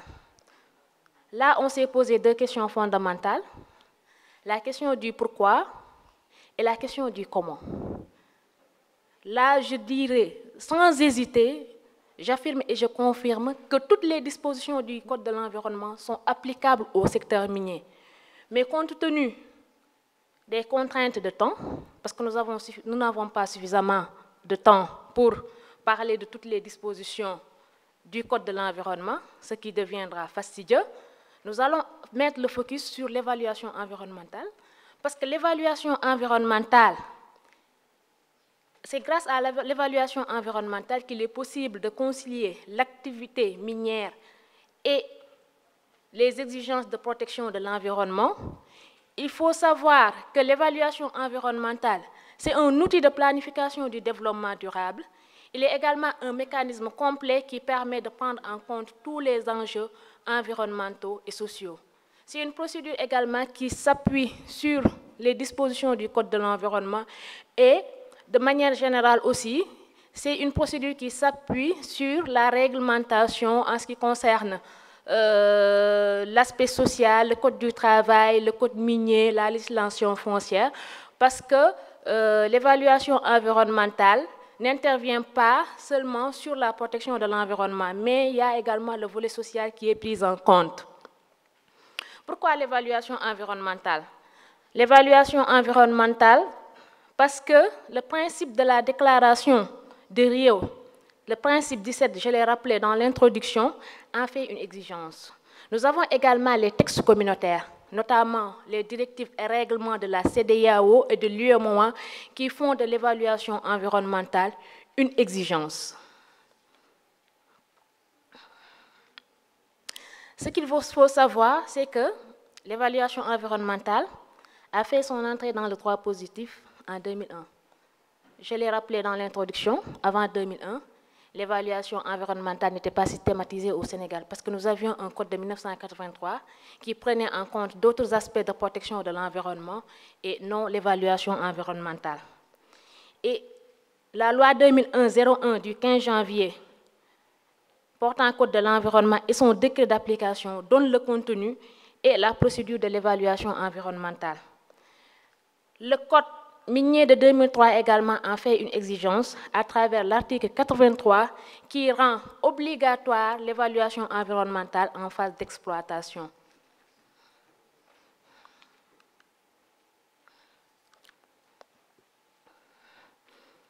En phase de conception d'un projet minier, je l'ai rappelé dans l'introduction, toutes les dispositions du Code de l'environnement sont applicables au secteur minier, mais le focus sera mis sur l'évaluation environnementale, qui est le mécanisme le plus complet qui, permet de prendre en charge les autres dispositions du Code de l'environnement.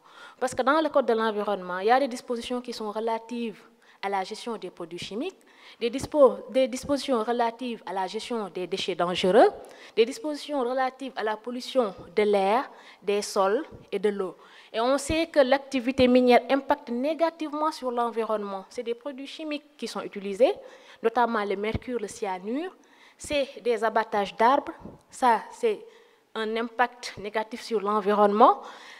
Les rejets, par exemple, de certains eaux usées dans les nappes phréatiques, là également, c'est des aspects qui sont pris en compte dans le Code de l'environnement, mais avec l'évaluation environnementale, la procédure va essayer de déterminer quel est l'impact réel et quelles sont les alternatives que la société minière peut apporter afin de pallier, euh, afin de, de réduire ou bien de supprimer tous ces risques environnementaux.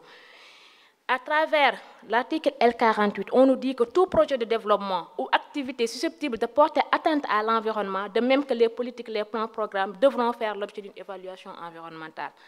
Dans la phase de conception, avant que le projet, de minier, le projet minier soit mis en œuvre, la société est assujettie à l'évaluation environnementale. Et le Code de l'environnement a donné trois outils, trois instruments d'évaluation environnementale, notamment l'évaluation environnementale stratégique pour les plans programmes, l'audit environnemental, parce que j'ai rappelé dans l'introduction que euh, l'évaluation environnementale a été systématisée en 2001. Quid maintenant des sociétés minières qui sont implantées avant 2001 Ces sociétés minières doivent faire ce qu'on appelle un audit environnemental et la procédure est bien tracée dans le Code de l'environnement. Nous avons également l'étude d'impact environnemental. Et dans l'étude d'impact environnemental, nous avons l'étude approfondie et l'analyse initiale, qui euh, sont également bien expliquées dans le Code de l'environnement. Excusez-moi.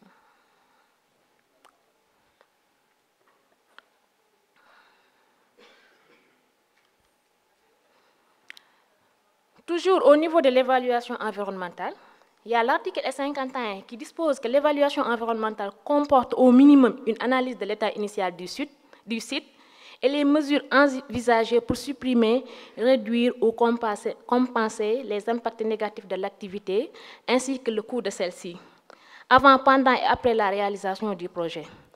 Ça veut dire quoi?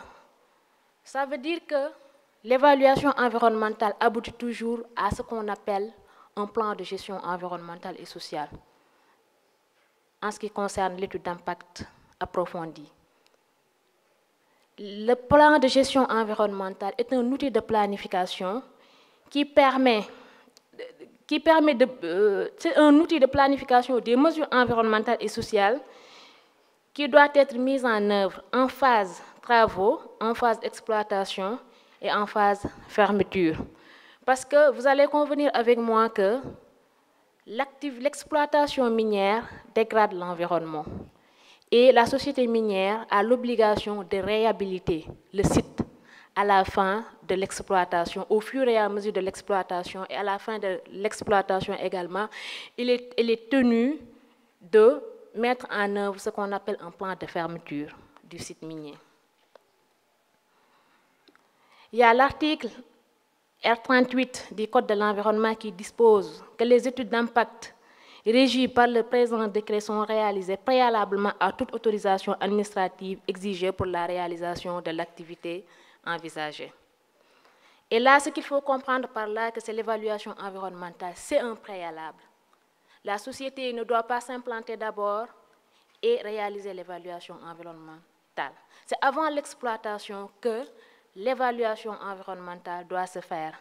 Parce qu'on sait que c'est un secteur transversal, il n'y a pas que les mines qui interviennent, il n'y a pas que l'environnement qui intervienne, il n'y a pas que l'urbanisme qui intervienne, mais ce sont des structures qui délivrent des autorisations. Mais avant l'obtention de toutes ces autorisations-là, la société minière doit enclencher la procédure de l'évaluation environnementale.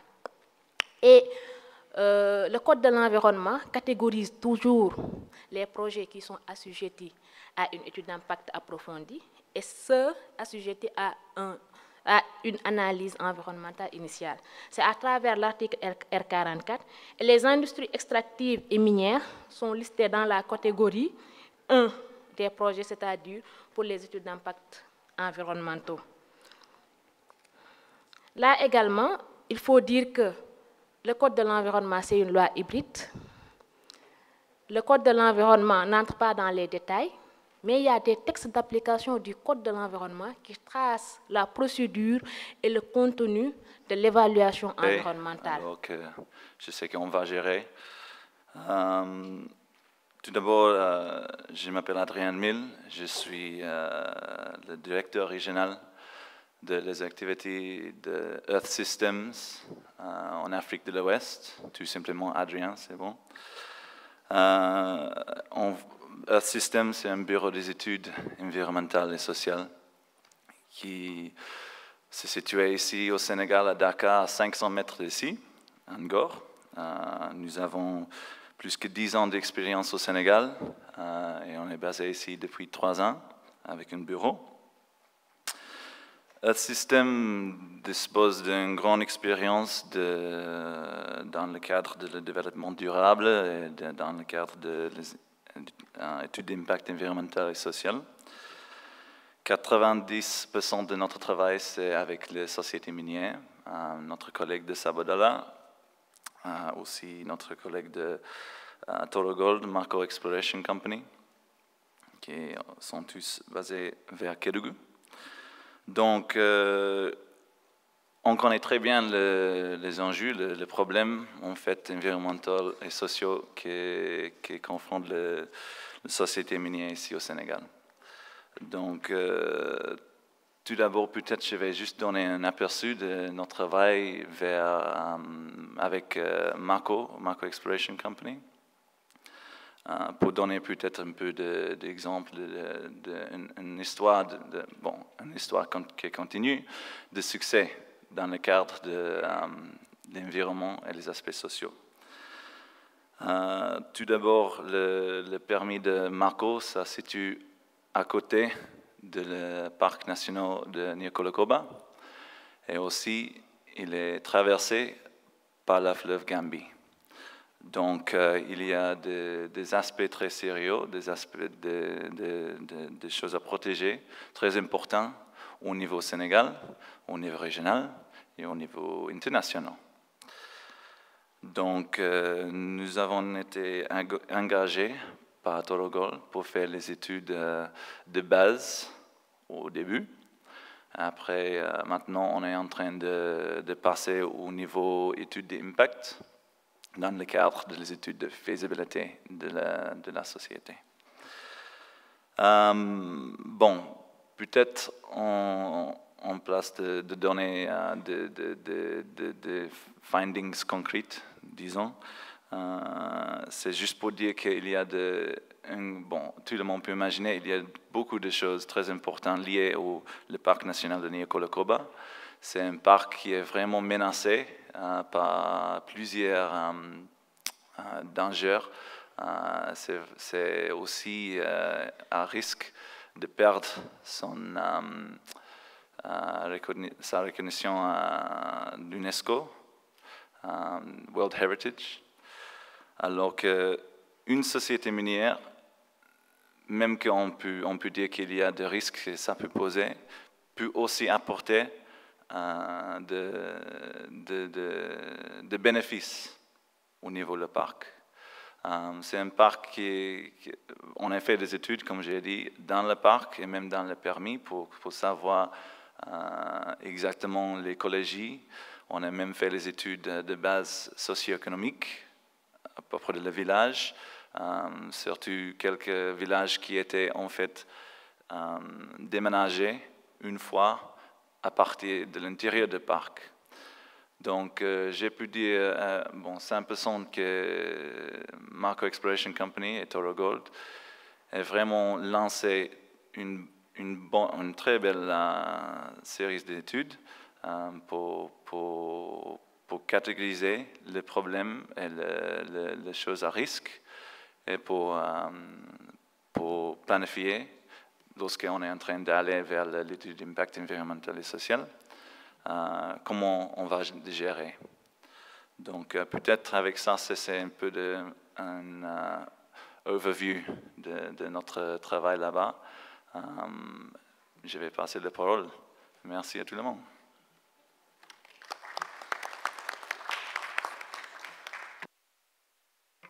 Merci, M. Emile de nous entretenir un peu sur euh, ce parc de Nyokolokoba particulièrement qui est quand même le plus grand parc du Sénégal de 900 000 hectares, mais quand même qui est assez menacé comme il le dit, menacé par le braconnage d'un côté, mais également menacé par euh, l'exploitation illégale de l'or. Nous savons que c'est un parc assez menacé. Euh, l'abattage des arbres, c'est un parc assez grand et puis également qui mène sur un pays frontalier, donc euh, dont le suivi est assez délicat. Donc je pense que c'est assez intéressant qu'il nous fasse le point sur euh, cette entreprise Macro Exploration Company, c'est ça? Voilà, donc qui engage en fait des travaux beaucoup plus responsables, c'est ça? Vraiment, c'est un encadrement assez intéressant pour un peu appuyer en fait la réhabilitation du parc. Merci beaucoup, M. Mille. Alors, nous passons la parole à M. Makumba Diop, euh, le général manager de Sabadola Gold Operation. Merci beaucoup, Président. Euh, juste une précision avant de faire ma communication.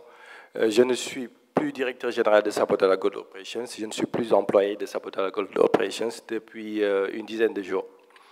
Je représente à cette table la Chambre des mines du Sénégal et je voudrais parler au nom de des, membres de la Chambre des mines qui sont aussi bien des sociétés actives directement dans les opérations minières, que ce soit l'exploration ou l'exploitation, mais également des partenaires techniques et euh, des membres d'honneur, euh, à l'image des ambassades du Canada et de l'Angleterre.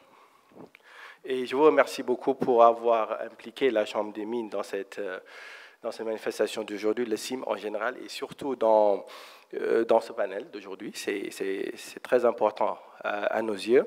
C'est toujours euh, une grande symbolique que de voir une entité indépendante privée qui représente des intérêts privés être à côté de, l'autorité, de l'autorité étatique.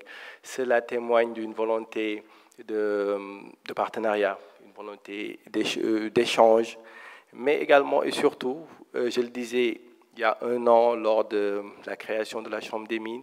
Cela traduit un niveau de maturité de la Chambre des mines, euh, pardon, de l'industrie minière du Sénégal. Euh, une industrie qui évolue et se développe doit se doter des outils de sa promotion, doit se doter des outils de son développement. C'est pour ça que c'est de bon augure que le Sénégal ait une Chambre des mines active et euh, participative, je devrais dire. Donc, euh, le cadre étant déjà fixé entre la Chambre des mines et l'État du Sénégal, représenté ici par la Direction de l'environnement, hum, et aussi, il ne faut pas oublier le représentant de la société civile, M. Tin. Euh, tous les acteurs du secteur minier sont en fait représentés autour de cette table. Maintenant, il s'agit d'avoir la même volonté d'échanger de façon objective, de participer pour que la société minière, euh, l'industrie minière, comme le dit le président, profite à toute la population sénégalaise, aussi bien euh, à toutes les communautés, aussi bien les communautés au bas des opérations minières, mais aussi dans, tout le Sénégal. Et bien entendu, pour que cette industrie minière soit, euh, je dirais pas pérenne, soit et des projections et des perspectives à long terme, il faudrait que les investissements soient rentables. Et pour que les investissements soient rentables, il faudrait qu'ils soient sécurisés et euh, encadrés. Et donc, tous les acteurs étant présents, il faudrait que chacun y mette la, bonne volonté pour jouer, euh, jouer les jeux, que chaque acteur puisse jouer pleinement son rôle. L'État de son côté étant le législateur, le régulateur, l'encadreur, et euh, l'investisseur étant euh, celui qui est chargé de sortir la richesse de la terre, celui qui est chargé de partager cette richesse. Et c'est souvent ce dernier mot, le partage, qui pose problème. Et c'est là qu'intervient un troisième acteur qui est la communauté. Et là, l'État se trouve en, position euh, d'arbitre entre ces, deux groupes. Mais il faut dire à l'État, à l'état actuel de l'industrie minière sénégalaise, nous avons certains grands défis qui sont l'information, la formation des acteurs, mais, mais aussi l'accompagnement, l'accompagnement des communautés dans leur acceptation des projets, l'accompagnement des entreprises dans leur, dans, pour qu'elles profitent de la liberté d'exercer, mais également l'accompagnement de l'État par ces entreprises qui ont beaucoup plus d'expérience dans cette activité. D'où l'intérêt de la Chambre des mines, composée par des entreprises qui ont eu une expérience minière très large dans d'autres pays et qui veulent bien l'importer au Sénégal et la partager avec nous. Donc il y a un souci de formation. Euh, au niveau des populations nous-mêmes, nous, les managers des sociétés minières, on ne peut pas prétendre avoir une grande expérience dans cette affaire-là si notre secteur lui-même n'est pas, pas très, très vieux. Au niveau de l'État également, on l'a dit tantôt, il y a une asymétrie d'information, asymétrie de capacité, parce que nous n'avons peut-être pas été préparés à relever le grand défi du management du secteur minier, mais c'est en cours, bien entendu. Mais également, du côté des entreprises, il faut une adaptation. Adaptation à la culture locale, adaptation des, euh, acceptation des us et coutumes, c'est seulement ainsi que l'on peut régler certains problèmes, par exemple l'orpaillage. Il faut forcément euh, savoir ce que ça signifie pour les populations et comment contourner ce, problème. Donc c'est cela un peu ce que j'appellerais les règles du jeu que doivent euh, jouer chaque partie. Cependant, il y a devant nous un vaste chantier. Un vaste chantier, il faut traiter des, problèmes spécifiques euh, au secteur minier, j'ai parlé tantôt de l'activité euh, d'exploitation artisanale de l'or. Euh, la représentante du ministère de l'Environnement a parlé du fonds de réhabilitation. Ces deux points sont, il me semble, les prochains grands chantiers de la Chambre des mines. C'est pour ça que je les, je les souligne. Et pour faire face à ces problèmes, la Chambre des mines a été obligée dès le début, dès sa création, de créer trois commissions. La commission eau et forêt, la commission réforme du code minier et la commission orpaillage. Les travaux euh, sur la réforme du code minier étant derrière nous, on attend toujours le, nouveau code. Cependant, le problème du fonds de réhabilitation des sites miniers est un problème euh, qui, qui, demeure, je dirais même qui vient d'être posé sur la table et ça va focaliser l'attention des différents acteurs pour les prochains mois, j'en suis certain. L'exploitation artisanale, il faut, je pense, éviter de rappeler les méfaits que cela, a causé, ce que cela cause. Tout le monde le sait, et l'État, je pense même quelquefois mieux que les sociétés minières. Il faut surtout saluer la décision courageuse qui a été prise d'arrêter cette exploitation artisanale et surtout souhaiter qu'il y ait une volonté de continuer la réglementation à la prochaine ouverture des, sites.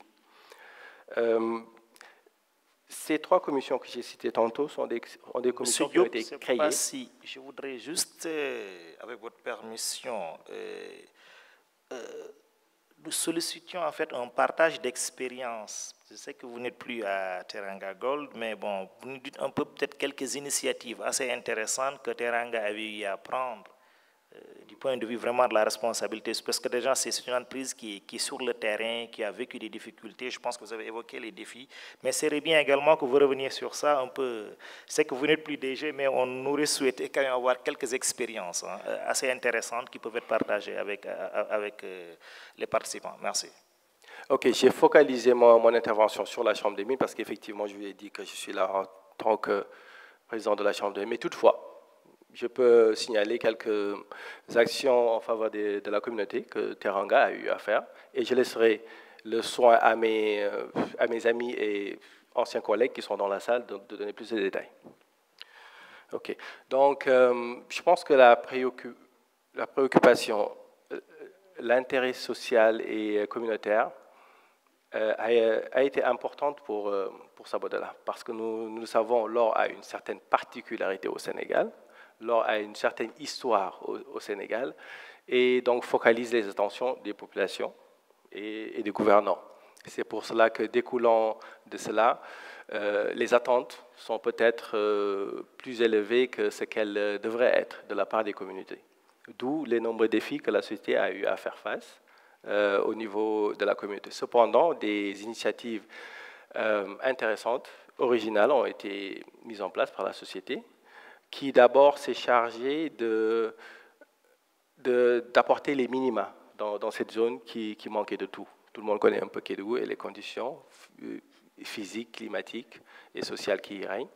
Donc la société a fait des efforts pour l'adduction en eau, pour euh, euh, la santé, pour l'éducation, comme je disais, pour assurer les minima. Maintenant, les demandes étant croissantes, avec la croissance de la population, il y a, d'autres demandes du, côté de la population. Et il me semble que le projet, euh, qui n'est d'ailleurs plus un projet, que la stratégie de développement de Kédougou mise en place par la société peut être un bon outil de développement global pour cette région.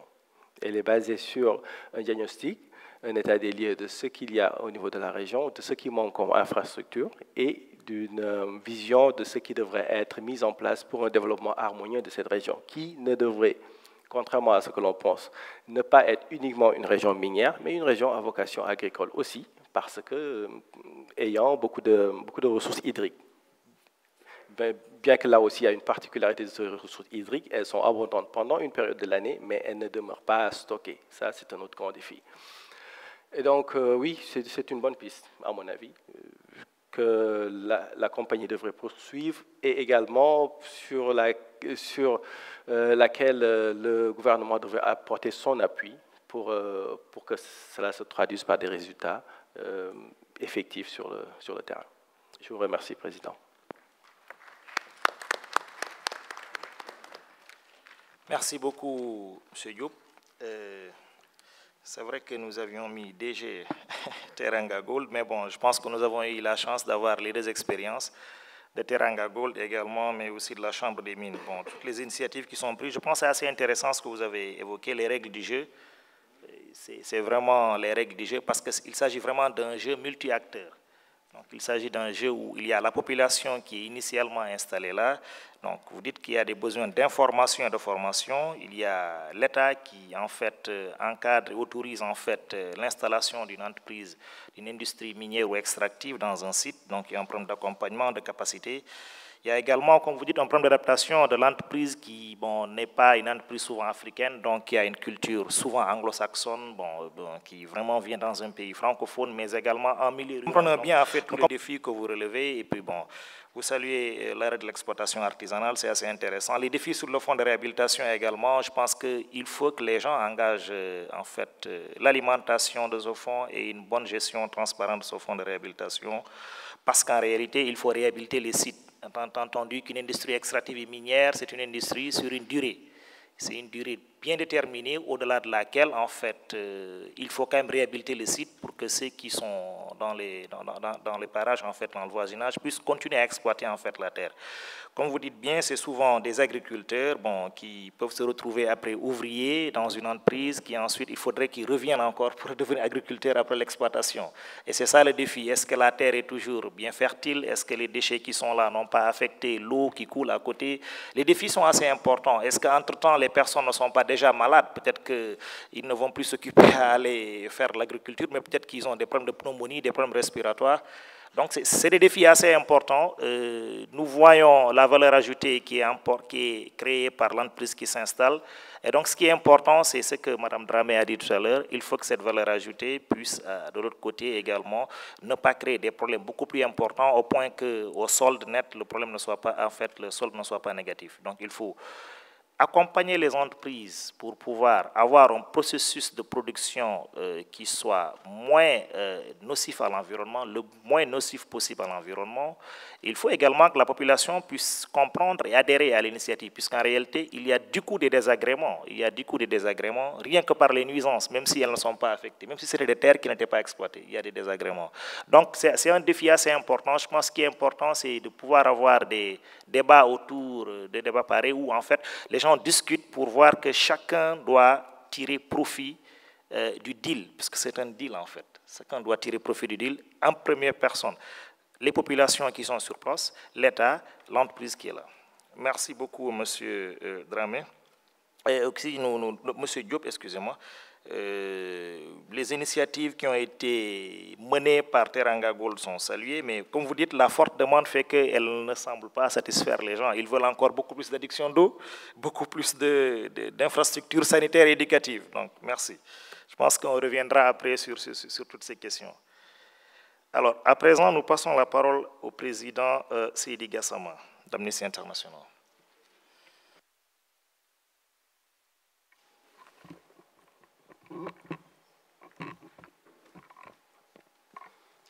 Merci beaucoup. Je vais faire une présentation suivant le thème. beaucoup, de, beaucoup de gens s'attendent peut-être que je parle beaucoup plus de droits humains, mais je crois que le thème tel qu'il est libellé nous intéresse beaucoup plus sur le développement durable et sur, euh, euh, évidemment, ce qu'il faudrait mettre en œuvre du côté de l'État pour que l'exploitation minière soit une exploitation durable et qui profite non seulement aux générations actuelles, mais également aux générations futures. Alors, dans le cadre de notre travail de recherche sur l'impact des industries extractives sur les droits humains des communautés, nous avons bien entendu pendant les cinq ou six dernières années parcouru les régions orientales du pays, notamment la région de Tambacounda et de Kédougou.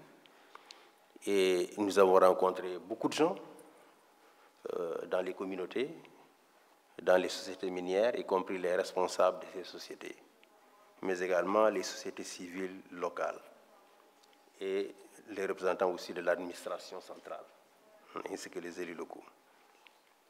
C'est vrai qu'en matière de RSE, nous avons entendu euh, les sociétés nous dire euh, toutes les actions qu'elles mènent sur le terrain. Et je voudrais dire ici que ce ne sont pas des inventions, ce sont des choses que l'on peut constater sur le terrain et ce sont des choses qui, réellement, même lorsqu'on ne les voit pas, il y a des populations qui témoignent de ces actions, en direction de la jeunesse, euh, en direction également des infrastructures. Mais l'autre constat qu'il faut, qu'il faut, faire, c'est que Lougou reste quand même, malgré toutes ces actions, reste quand même l'une des régions les plus pauvres du pays. selon l'Agence nationale de la statistique, 70% de la population de la région vivrait en dessous du seuil de pauvreté. 70%. Et c'est également une des régions les moins dotées en infrastructures du pays, que ce soit des écoles, des routes ou des centres de santé. Je ne sais pas s'il y a eu évolution depuis, depuis quelques mois, euh, mais une des autorités locales de Kédougou, de, Sabodala, nous disait que dans toute la commune de Sabodala, il y avait un seul poste de santé ou centre de santé qui était construit par l'État du Sénégal. C'est vrai que la compagnie euh, aide beaucoup ce centre de santé en médicaments, hein, en ambulance. Cela nous a été confirmé par les autorités locales. Mais nous estimons quand même que c'est une très grande commune. Hein. Dans d'autres régions, vous allez, pour des villages distants de 5 km, vous avez deux postes de santé. Donc nous estimons que pour une région aussi vaste, pour des départements aussi vastes, ou des communes aussi vastes, cela pose quand même un problème, un seul poste de santé. Même si par ailleurs la commune, la société aide à, la pourvoir en médicaments et en, moins de locomotion. Une, des curiosités que, nous avons également constatées, et là les populations que nous avons, avec lesquelles nous avons discuté nous ont fait plusieurs fois cette complainte, la presse également l'a plusieurs fois rapporté, c'est la route entre Bembou et Sabodala. C'est une route euh, qui n'est pas bitumée, latéritique, et les populations, ainsi que des membres du corps médical, euh, je ne sais pas si vous avez visité, Monsieur le Président, vous avez fait cette route, vous avez des hameaux tout le long de la route, et les camions qui passent autour de la route, bien entendu, soulèvent une poussière rougeâtre qui, euh, de toute évidence, constitue une nuisance pour les populations qui habitent dans ces hameaux. Il est donc important que cette route soit faite. Hein. Si l'État n'a pas les moyens de la faire, nous estimons que la société a suffisamment les moyens de faire euh, ce tronçon-là afin d'éviter les nuisances causées essentiellement par ces camions aux populations donc, euh, de ces hameaux.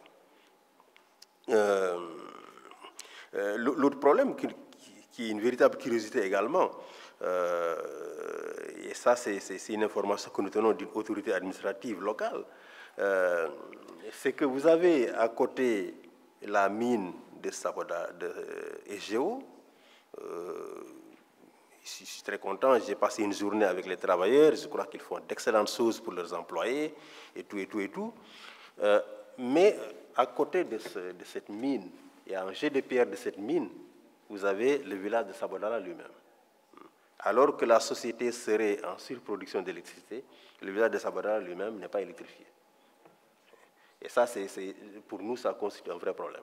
Et d'ailleurs, un journaliste euh, d'un grand, grand, média international nous disait que euh, quand il allait faire un reportage sur place, il arrivait à Sabodala, euh, on lui a dit que c'est ici, il ne croyait pas, il pensait que Sabodala c'était un autre village beaucoup plus loin, tellement que le nom était associé à l'or. Et il ne pouvait pas comprendre qu'un village dont le nom est aussi associé à l'or connaisse autant de, de, de, misère et vive pratiquement à dans, dans, une situation d'arriération que beaucoup de villages au, Sénégal ont, dépassé depuis longtemps.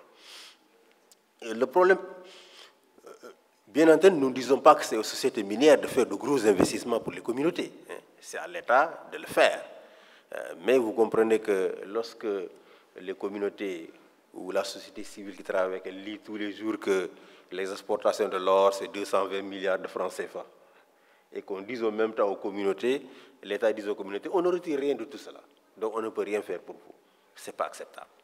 On ne peut pas dire qu'on exporte 222 milliards de francs CFA d'or en 2012 en 2013 et en même temps, on ne peut pas euh, donner l'électricité à un village qui est à côté et où il y a peut-être un millier, un, millier d'habitants. Il faut absolument, absolument qu'il y ait un déclic du point de vue de la modernisation de cette région-là, en termes d'infrastructures, surtout termes d'infrastructures. Et nous avons noté avec beaucoup d'attention les annonces faites par le directeur des mines à l'ouverture de ce salon, euh, qui disait que l'augmentation de la redevance, je crois, de 3 à 5% a permis de dégager 10 millions de dollars pour investir dans la transformation socio-économique de la région. Nous attendons de voir euh, cet investissement. Il a dit que l'argent est disponible, les entreprises sont disponibles. Donc, ça devrait aller vite, M. Sissé. Nous attendons pour que, en 2015, que ces investissements aient lieu. En tout cas, euh, euh, l'adhésion du Sénégal à l'ITIE euh, est pour nous un excellent moyen qui va nous permettre d'être informés sur les flux financiers issus du secteur des mines et surtout de vérifier l'utilisation qui en est faite par, l'État.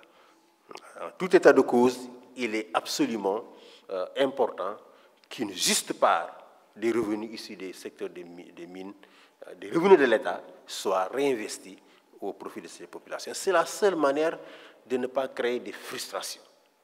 Dans la plupart des régions minières, nous avons observé des conflits parce que les populations locales étaient délaissées. On retire beaucoup de ressources de leur sous-sol et ils n'en bénéficient pas. Et au bout du compte, vous avez des, petits groupes qui se constituent et de fil en aiguille, on aboutit à une rébellion.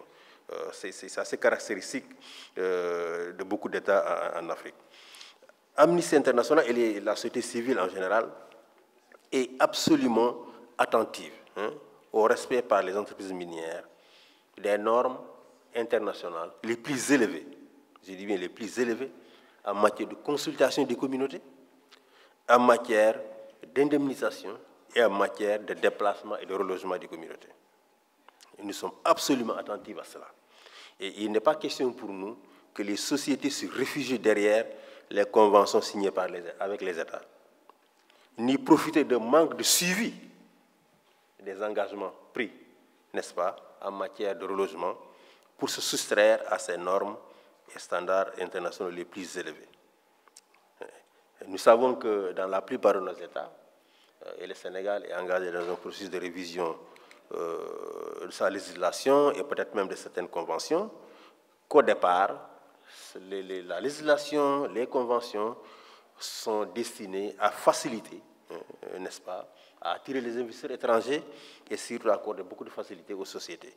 Cela se comprend. Mais nous estimons que l'industrie euh, minière au Sénégal a maintenant atteint une certaine maturité et qu'il est temps pour l'État de revoir à la fois la législation, mais aussi les conventions, comme cela a été fait, je crois, dans ce cas précis avec l'élévation de 3 à 5% afin que maintenant l'exploitation minière profite aux communautés. Il est inadmissible qu'on leur dise on a tiré et exporté 220 milliards hein, de francs CFA d'or hein, sous vos pieds et en même temps vous vivez dans la pénombre et qu'il y a un seul centre de santé et, il faut qu'on se déplace des dizaines de kilomètres pour pouvoir se soigner.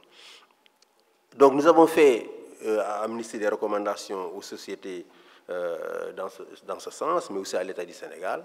Nous sommes heureux que ces recommandations qui sont contenues dans notre rapport de juin 2006 soient très bien accueillies par les sociétés et par l'État, et nous sommes disposés à poursuivre le dialogue pour leur mise en œuvre concrète.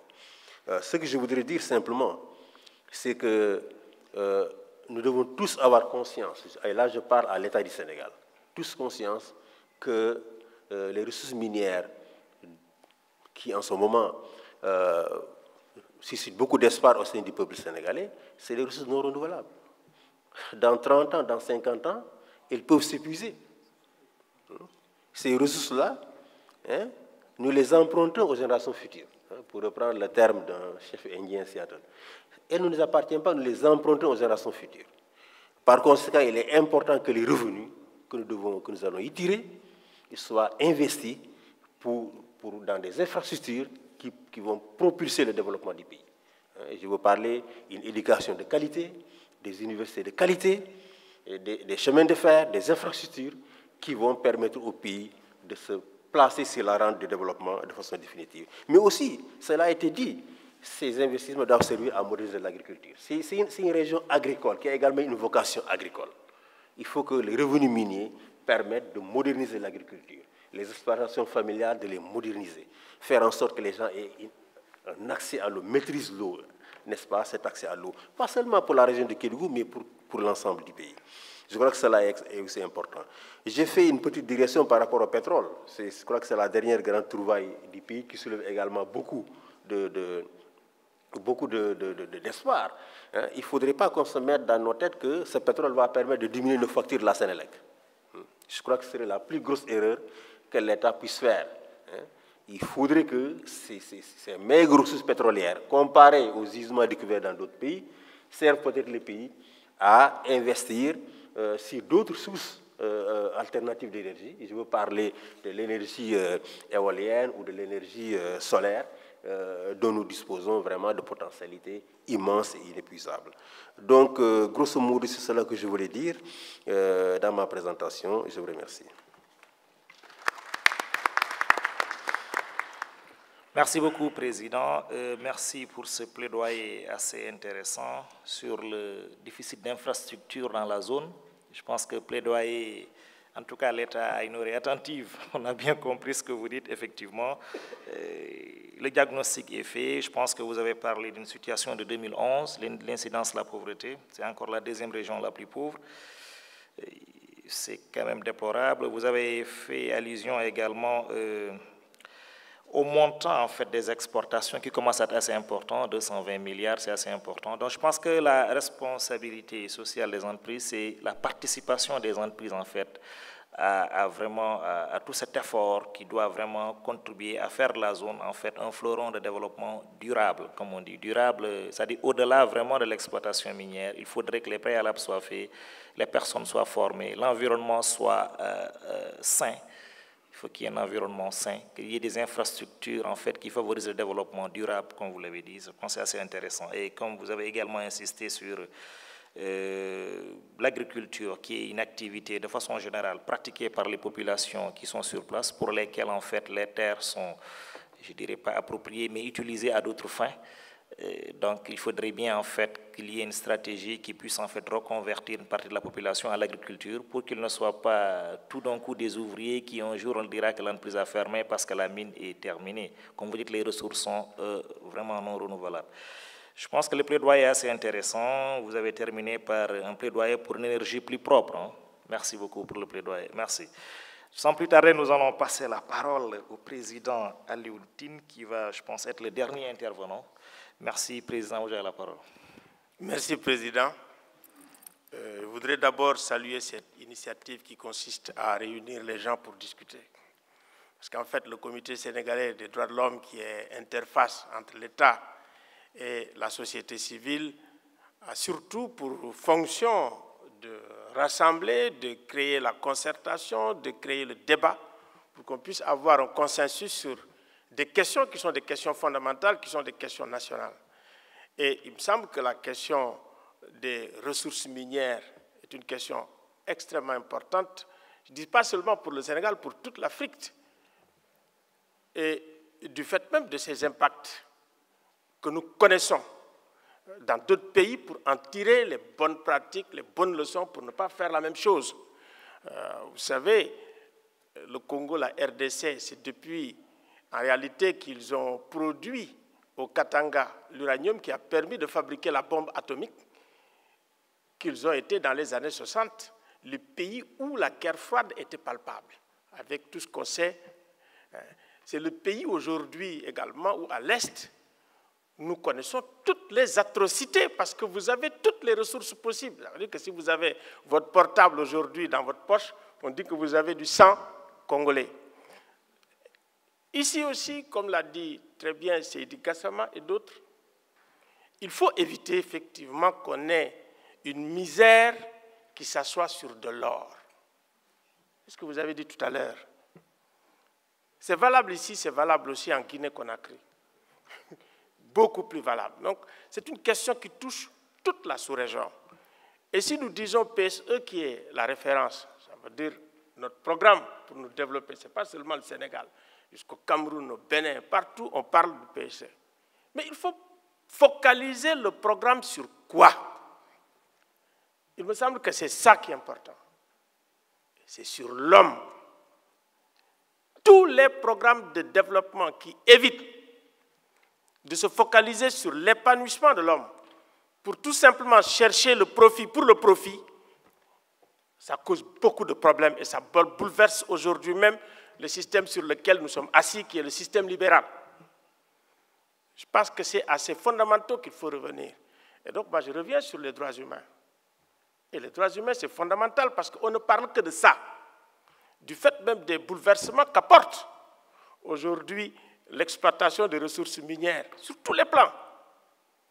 Le plan économique, sur le plan de la vie des communautés elles-mêmes, leurs croyances, c'est fondamental. Vous avez vu l'esplanade des mosquées, ce que ça produit comme violence. Nous, nous sommes en train de discuter et de faciliter le dialogue entre l'AIBD et les populations. Mais qu'est-ce que les populations nous disent? Là où on a mis telle chose, c'est là où se trouve notre sacré. Et quand on dit les droits humains, c'est important. Quand vous venez auprès d'une communauté pour exploiter les ressources qu'il y a là-bas, vous ne les consultez pas, vous ne discutez pas avec elles. Vous commencez à travailler. C'est ça qui nous amène des problèmes. Il me semble qu'il faut que on revient sur ça. Quand on a discuté avec les populations de la IPD, ils nous ont dit ça. Même quand ils ont été relogés, il y a des problèmes encore. Et la plupart des mesures ou des réponses des États ne sont pas des mesures et des réponses adaptées, autoritaires, répressives. Dès que nous sommes arrivés, on dit arrêtez la répression. Discutons. Et ça discute. Et aujourd'hui, le modèle de l'AIBD aujourd'hui commence à faire un peu florès. On était à Ouagadougou et je pense que la, prochaine fois, ce sera peut-être euh, euh, le Forum des Nations Unies que vous connaissez sur Human Rights and Business, qui est extrêmement important. Le droit à l'information. Parce que les mines, c'est un mirage. Tout de suite, quand vous dites direction des mines, de la géologie, etc., exploitation, tout le monde commence à rêver. Donc, vous avez l'envers et le revers de la médaille. Et parmi les droits humains, il me semble qu'il y a quelque chose qui est fondamental, c'est le droit à l'information. De ce point de vue même, nous saluons le fait que le Sénégal a adhéré depuis le 17 octobre 2013 à l'ITIE, l'initiative de transparence des industries extractives. Si les gens discutent, les populations, tous les acteurs, les communautés, le Parlement, les organisations de la société civile, il me semble qu'il faut aller vers ça pour montrer qu'il n'y a absolument rien à cacher et que chacun donne son avis. Il est évident que quelqu'un qui vient pour dire, écoute, je viens exploiter, mais c'est pour gagner de l'argent.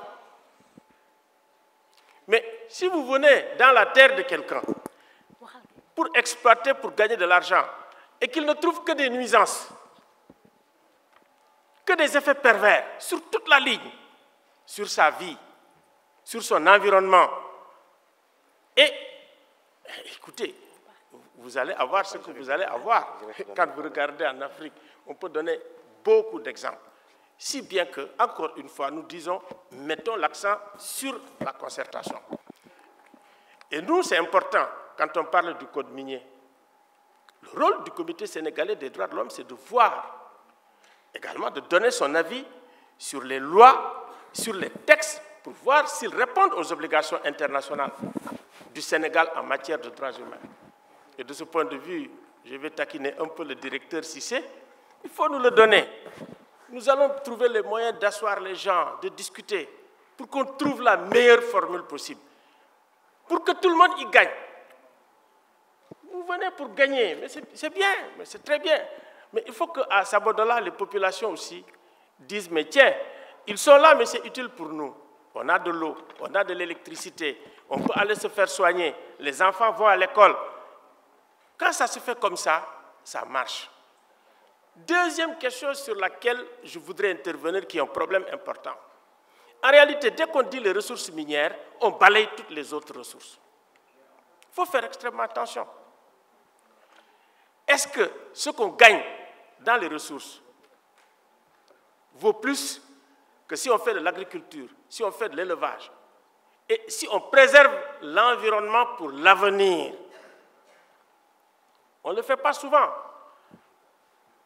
Dès qu'on dit qu'il y a du pétrole, paf, on commence.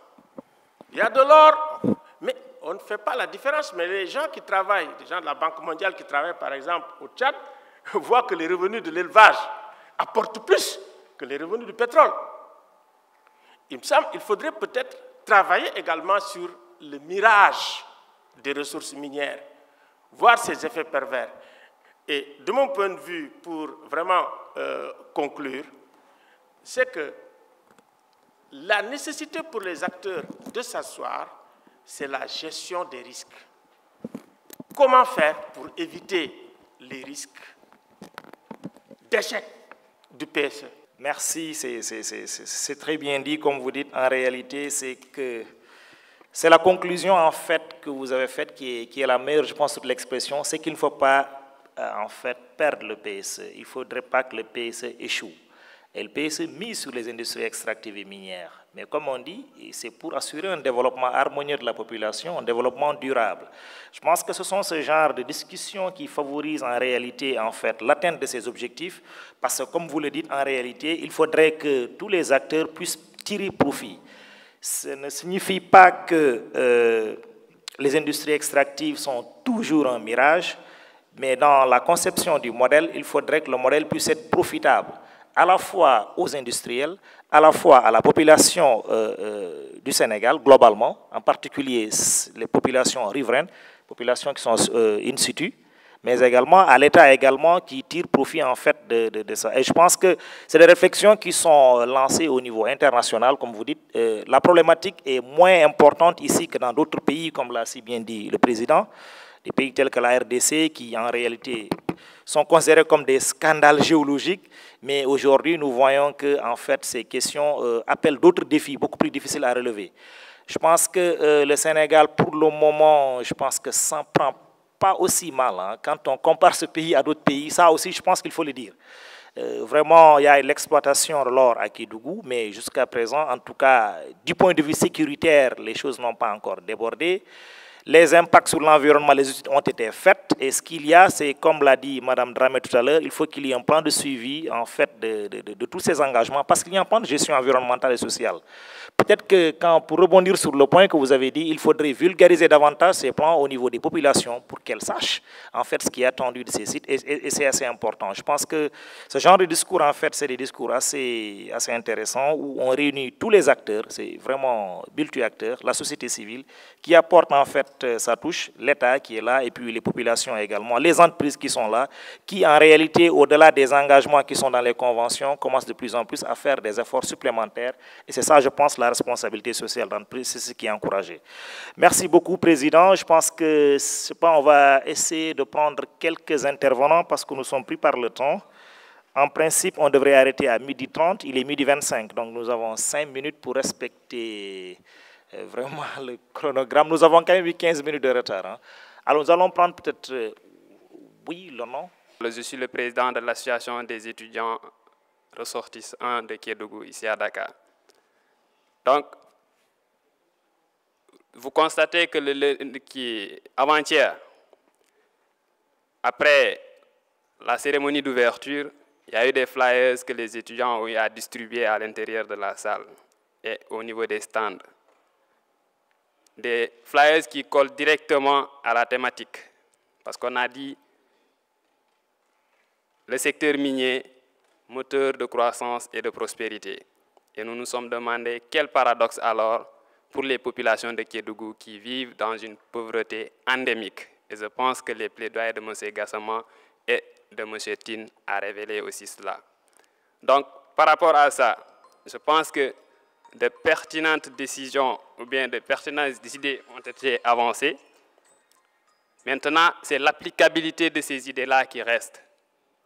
Parce que par rapport au retour à l'agriculture par les populations de Kédougou, je tiens à vous rappeler que les populations veulent cultiver, mais c'est des milliers et des milliers d'hectares qui sont occupés par ces sociétés minières-là. Donc, partout où les sociétés interviennent, l'agriculture bascule à ce niveau-là. Donc, les populations ne peuvent pas cultiver de ce côté. Donc, par rapport à cela, et par rapport à l'exploitation traditionnelle dont vous êtes en train de parler, l'orpaillage traditionnel, à ce niveau-là aussi, il y a un tout petit peu un paradoxe. Parce que les autochtones ne peuvent pas, c'est vrai, il faut que les sociétés, que des grandes sociétés viennent exploiter afin que l'or puisse servir à l'État du Sénégal. Et c'est tout à fait normal. Mais aussi, on ne peut pas interdire à ces autochtones-là de venir, parce que tout simplement, il y a certains, c'est après avoir été dans les sites, creuser et avoir 2 à 3 grammes d'or qu'ils vont acheter 2 à 3 sacs de riz qu'ils amènent euh, dans leur famille, leurs enfants et amener aussi, qui envoyer de l'argent aux étudiants qui sont là à Dakar. Donc interdire ces derniers-là, c'est bon la réglementation et d'ailleurs nous en sommes preneurs, c'est nous qui demandions qu'il y ait une sécurité au niveau de ces sites-là. Parce que l'insécurité, tout à l'heure, les intervenants sont revenus par rapport à la crise qui sévit au niveau des autres pays. Donc à ce niveau-là, il y a encore une fois, cette même crise presque existe à Kédougou, parce que l'insécurité règne. L'insécurité règne. Je suis témoin oculaire au mois de, juin dernier, au mois de juillet dernier, en allant vers Djahaba, des braquages à 7 km de la commune même de Kédougou. Donc cela est un facteur, c'est les impacts de l'exploitation de l'or. Je pense qu'à ce niveau-là, les population ou bien l'État du Sénégal et les acteurs qui sont en train d'intervenir, que ce soit privé, public, privé et, la société civile, les gens quand même doivent ce débat-là même, moi je dirais que ce débat devait avoir lieu à Kédougou. Mais manque d'infrastructure, on ne peut pas organiser des conférences de cette envergure à Kédougou parce qu'il n'y a absolument rien. Donc, voyez, donc à ce niveau-là, je pense que dans le plan Sénégal émergent, Kédougou doit véritablement prendre part à ce rendez-vous-là. Donc, pour une bonne politique du président de la République, on ne peut pas parler d'émergence, d'émergence et que les populations s'assoient sur de l'or et qu'ils ne parviennent pas quand même à bénéficier de cet or-là. Donc, c'était ma modeste contribution et je pense que des pertinentes idées sont sorties de cette salle-là. Maintenant, c'est l'applicabilité. L'État qui est chargé d'être arbitre, c'est à l'État maintenant de véritablement revenir sur, sur, sur En l'occurrence, il y a le directeur qui est là, on travaille ensemble dans le cadre peut-être de, de, du, du, du, programme que l'ASO et les étudiants sont en train de s'équiper. Je pense qu'il va encore une fois peut-être plus revenir et plus de considération encore une fois envers les populations de Kédougou. Je vous remercie. Merci beaucoup, M. Diallo. Nous passons la parole à M. Dabo. Le président de séance. C'est bon d'intervenir et de préciser certaines choses aussi par rapport euh, euh, à l'or au niveau du Sénégal et euh, par rapport à tout ce qui s'est dit dans cette salle. Euh, J'ai bien aimé M.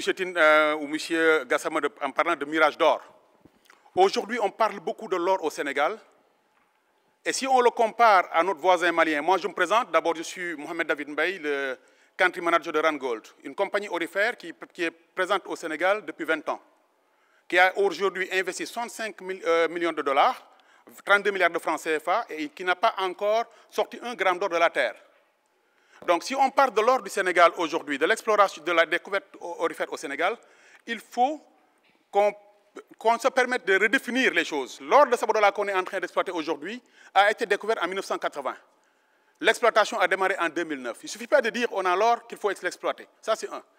Comparé au Mali, où il n'y a que le sixième qui est découvert au Sénégal. Moi qui vous parle, j'ai 20 ans d'expérience dans le secteur orifère en recherche. Et, euh, la, découverte qu'on a eu à faire, c'est Massawa. 4 millions 11, on ne parvient pas à le faire parce qu'on a des problèmes techniques pour le développer à ce jour. On, est en train de travailler là-dessus. Donc il nous faut encore, vous partez du côté malien, vous allez voir des, des doyens qui sont là-bas avec 50 ans d'expérience. Il nous faut encore du temps pour y être. Parlant, ça c'est uniquement parlant de l'or. Comme je vous ai dit tantôt, toutes les compagnies dont on parle aujourd'hui, il n'y a que Sabodola qui exploite et il est en train de faire de son mieux sur le plan social, comme le, directeur général l'a dit tantôt. Concernant l'exploration, comme je dis tantôt, on est la compagnie qui a fait 20 ans dans la zone. Et je pense sur le plan social et environnemental, on est en train de faire de notre mieux. Je vous donne uniquement des cas. 70% des emplois de nos employés sont dans la zone de Kédougou. Et on ne dit pas, souvent, il y a un paradoxe. Quand on parle de Kédougou, les gens pensent qu'il faut aller en ville de Kédougou pour en prendre. Quand je suis au village de Tenkoto, mes, premiers interlocuteurs, c'est les villages environnants. Et aujourd'hui, 70% de, nos employés sont de, nos villages, de ces villages environnants. Un exemple que je donne, en 2010, le village de Tenkoto a pris feu. La compagnie Rangol et pas mal de compagnies qui tournaient autour ont participé à la reconstruction de ce village. Ce village n'avait pas de forage d'eau, on a mis deux forages d'eau. Ce village n'avait presque avait des, abris. On a non seulement construit quatre salles de classe, mais équipé en panneau solaire et en ordinateur. Chose qui est rare même au Sénégal. On a fait aujourd'hui des salles de classe à Karakaine où il n'y avait que 4 villages ou 5 villages. Et pas mal de sociétés dans cette salle font pareil. Aujourd'hui, à l'hôpital de Kédougou, bien qu'on est encore en phase d'exploration, on a mis 25 millions, 24 millions 600 000 francs pour, la réhabilitation de la, de la salle d'accueil. Cette année, j'ai mis 5 millions pour réfractomètre et électrocardiographe. Et toutes les compagnies font pareil. Pour le démarrage de l'hôpital de Saraya, pareil. On a participé, toutes d'autres compagnies ont participé. Et sur le, on a assez dit les, les, que les populations se forment. Et on est en train de faire de notre mieux. Aujourd'hui, vous partez dans, euh, j'ai quoi 57 emplois permanents, hier que j'ai montré même aux étudiants. 58% sont, des sont du département de Kédougou. On ne peut pas faire plus. On, dit tantôt, la plus belle femme au monde ne peut donner que ce qu'elle a. Et des fois, c'est assez désolant que dans cette salle, que ces, que ces étudiants, je veux bien, mais il ne faudrait pas que les gens prennent les compagnies minières aussi pour les, pour fusiller. On fait de notre mieux. Ces étudiants qui parlent, qui parlent de, de, de, des compagnies minières qui ne font rien, hier, je les ai eus pendant deux heures de temps. Aujourd'hui, l'immeuble, là où ils habitent aujourd'hui, Terang est en train de faire des efforts pour les loger. qu'est-ce qu'on peut faire autre? Qu'est-ce qu'on peut faire autre? Merci beaucoup, M. Mbaye. Vous faites beaucoup, mais bon, en train de faire, parce que peut-être, comme vous avez dit, l'information peut-être n'est pas bien partagée. L'esprit n'est pas de diaboliser les industries extractives et minières. Je vous dis que ce secteur est un des secteurs prioritaires du plan Sénégal émergent. Donc le Sénégal opte pour le développement des industries extractives et minières. Ça, c'est quelque chose de très clair. Et Kédougou est un pôle sur lequel le Sénégal compte s'appuyer pour en fait euh, impulser l'émergence du pays. Je pense que sur ce point, il n'y a pas d'équivoque. Ce qu'il y a, c'est que à chaque fois qu'il y a des industries qui viennent, qui euh, euh, posent le problème en fait de, le chiffre d'affaires en fait de 75 milliards, 200 milliards, ça aiguise des appétits et, et, il faudrait que les gens discutent. Mais de l'autre côté également, ces entreprises également, effectivement, toute industrie, particulièrement les industries minières extractives, toute industrie une fois qu'elle s'installe sur un site, elle cause des désagréments. Ça, c'est clair, toute industrie. Parce qu'elle elle perturbe même l'équilibre social avant d'être là. Toute société vit en harmonie, même si elle est dans une situation de pauvreté. Il y a un équilibre social qui est là avant l'installation des entreprises, que ce soit au niveau de l'exploration, que ce soit au niveau en fait, de l'exploitation. Mais ce qui est important, c'est que l'État qui est garant du développement, en fait, qui est le responsable en premier lieu du développement de ce pays, doit essayer de mettre en place tous ces acteurs euh, pour en fait les mettre autour d'une table, en particulier euh, la société civile, pour pouvoir ensemble arriver à avoir le meilleur deal. C'est un deal que nous devons trouver pour que les industries s'installent, l'État y tient, mais également pour qu'elle cause le moins de désagréments à la population qui est trouvée sur place et pour que l'État, en retour, puisse en tirer le maximum de profit. Il y a, beaucoup d'enjeux. Dans d'autres pays, les enjeux, c'est au niveau des contrats, on suit. Dans certains pays, c'est les contrats qui posent le plus d'enjeux. Dans certains pays pétroliers, miniers, ah bah, il y a beaucoup d'enjeux. Ici, on parle du plan de gestion environnementale et sociale. C'est un plan qui doit être non seulement élaboré, c'est fait, avec les grandes entreprises, il n'y a pas de problème. Vous voyez, même l'étudiant a semblé dire qu'il est d'accord pour l'exploitation illégale. Il est revenu très rapidement. Bon, je l'ai suivi dans son débat. Mais c'est vous dire que c'est des débats assez intéressants parce qu'il y a des avantages directs qui peuvent être tirés par celui qui exploite, mais également à côté, il y a des inconvénients qu'il cause. Et l'État est là pour voir en fait, est-ce que l'avantage tiré par un des acteurs ne produit pas des inconvénients suffisamment importants pour les autres acteurs. Et comme on dit, c'est des ressources qui, nous comprenons les entreprises qui font de l'exploration pendant longtemps. C'est pourquoi les entreprises ont des exonérations pendant une certaine période. Ça, on le comprend. Je pense que l'État a pris bien les dispositions. Euh, c'est même euh, pas bien apprécié par d'autres, mais nous comprenons, il y a une phase d'exploration, il y a une phase d'exploitation, mais également, nous, comme vous dites, l'entreprise, quand elle vient, elle perturbe un équilibre social. Il faudrait qu'après le départ, pendant et après le départ de l'entreprise, que le site qui a fait l'objet d'exploitation soit en fait, euh, un niveau de vie qui est un niveau de développement de ce site beaucoup plus important. C'est ça, qui est, ça qui est recherché par l'État. Parce qu'au bout du compte, c'est ça qui est recherché. C'est que le niveau de développement du site pendant et après l'exploitation soit beaucoup plus élevé. Mais pour que, ce soit, pour que, pour que ces conditions soient remplies, il faut que l'environnement soit encadré. Il faudrait qu'il y ait des études d'impact environnemental qui puissent réorienter sur le site, qui puissent insister sur le processus de production, qui puissent jouer même sur la technologie pour la gestion des déchets, qui puissent orienter là où les déchets doivent être déversés, parce que c'est un problème. Vous savez bien qu'Edougou, par exemple, il y a les cours d'eau, l'exploitation illégale de l'or, par exemple, on déverse le mercure dans les cours d'eau. C'est quelque chose de très, très délicat. Il y a la mine en tant que telle, euh, elle est assez profonde pour que même euh, tout le substrat euh, du sol puisse être en fait perdu.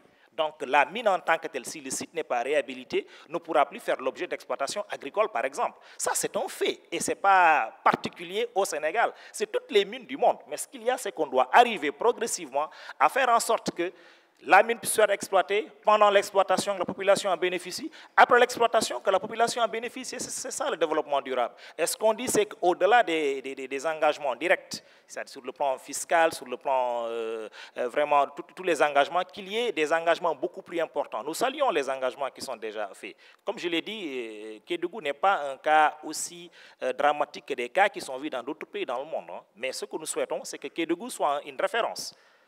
On souhaite que Kédougou soit une référence, à l'image du Botswana qui est cité en référence, où vraiment la gestion des industries extractives est citée en référence. On souhaite que Kédougou soit un Botswana 2, c'est ce que nous souhaitons. Merci. Euh, Madame Dao. Diaw Fatou la répétition est pédagogique, je l'ai dit hier. Je suis la présidente de l'Organisation des femmes d'affaires africaines.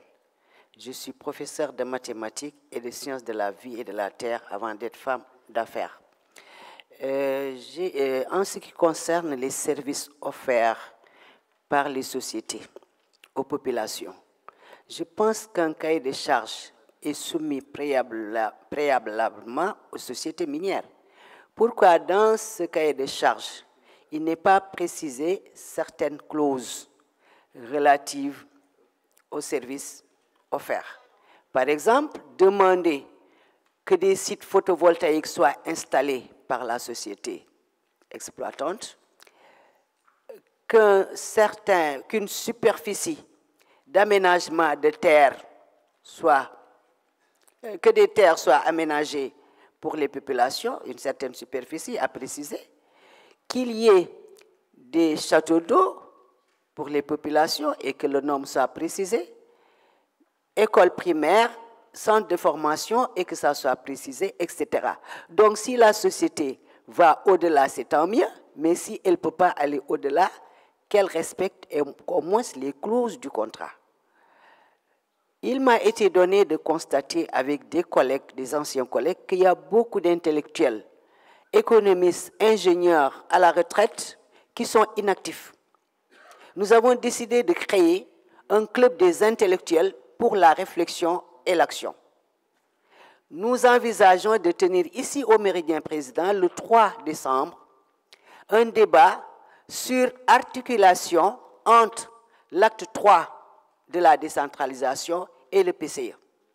Parce qu'en ce moment, il y a beaucoup de Sénégalais qui ignorent le contenu de l'acte 3 de la décentralisation. Il y a beaucoup de Sénégalais aussi qui ignorent le contenu du PCE. Donc, nous allons mener des débats sur tous les problèmes économiques, sociaux, environnementaux qui se posent dans nos pays pour participer à la gestion de nos pays. Et le club ne se limite pas au Sénégal, mais va au-delà de nos frontières. Le club sera créé en Mauritanie, en, en Guinée, un peu partout, afin que les intellectuels à la retraite puissent participer à la gestion de leur pays. Je répète également que je suis en contact avec des investisseurs potentiels qui disposent d'un financement et qui sont intéressés par le développement de l'Afrique dans l'agriculture, les mines, les infrastructures, etc. Donc, mon numéro de téléphone 77 563 46 34. Merci beaucoup. À bientôt. Merci Madame Da, vous avez fait un peu de pub là, vous nous devez de l'argent. Hein. vous avez fait de la publicité, vous nous devez de l'argent. Vous allez passer à la caisse après. Merci. Ok, Monsieur Gaspard, vous avez la parole.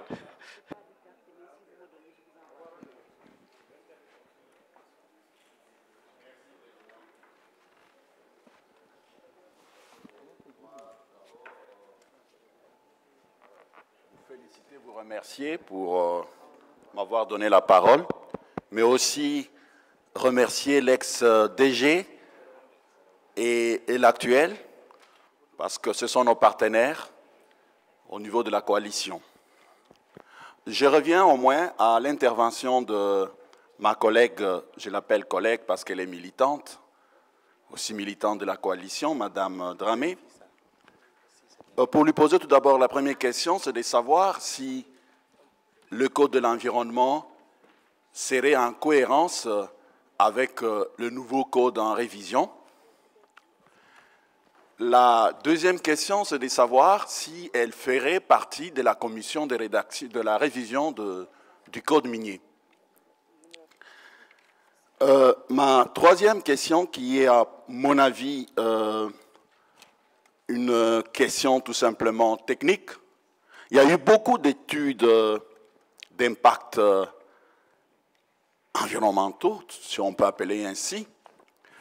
Euh, je ne sais pas s'il y a, un dispositif de communication au niveau du ministère de l'Environnement, parce que toutes ces études-là ne sont pas bien connues, les résultats de ces études-là ne sont pas bien euh, partagés et surtout bien capitalisés. Quand je lis un peu le, le message du chef de l'État hier avant-hier, il disait, je cite, Je suis convaincu que c'est un secteur créateur d'emplois. Le chef de l'État est convaincu que le secteur minier, c'est un secteur qui est, ah, c'est lui qui l'a dit, créateur d'emplois. Je ne sais pas si au niveau de, du ministère de l'Environnement, au, au, niveau des industriels, euh, nous avons une idée de nombre d'emplois qui ont déjà été créés par le secteur euh, minier. Pas seulement pour euh, les jeunes qui sont à Sabodala, parce que dernièrement, il y a eu, même des licenciements, mais c'est pour dire qu'il y a moyen de protéger l'emploi des jeunes, l'emploi des populations. Mais là, c'est pour terminer, je voudrais terminer par là, euh, Monsieur le Président, pour dire qu'on a parlé des droits, des droits de l'homme, droits humains, mais les droits de l'homme sont indivisibles, ils sont indissociables les uns des autres. Euh, quand on veut bien développer les droits de l'homme, on ne peut pas seulement se limiter au droit à la santé ou au droit à l'éducation, mais c'est de voir les droits dans leur contexte global. Il y a question de paix, il y a question de sécurité. Je suis bien d'accord avec l'étudiant qui a dit qu'il y a l'insécurité, il y a l'insécurité dans cette zone-là. Nous devons faire attention. Euh, il y a aussi le problème de savoir que tout ce qui est produit par les industries minières n'est pas seulement l'apanage de la population de Kédougou. Le Sénégal est un et indivisible. Mais il faut aussi que, qu'il y ait d'impact à travers toute la République du Sénégal. Il y a des Sénégalais qui ne savent pas réellement ce que telle ou telle société minière aurait fait, etc. Mais que tout appartiendrait aux Sénégalais, à tous les Sénégalais, hormis ceux qui sont à Kédougou. Je vous remercie. Merci beaucoup, M. Gaspard, pour cette intervention assez brillante. Madame Diagne, vous avez la parole.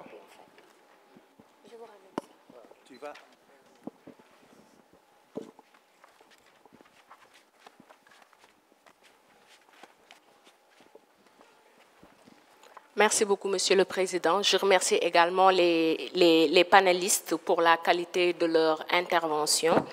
Je fais également mienne de certaines observations et donc euh, idées importantes qui ont été émises ici. Et je voudrais insister particulièrement sur euh, cinq aspects.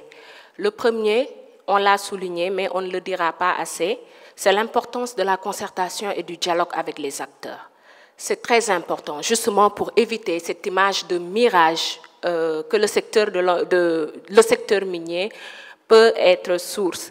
Mais surtout, le dialogue et la concertation pour mettre sur la table les attentes économiques, les attentes sociales, les attentes financières, aussi bien des sociétés minières, des populations que de l'État. C'est important.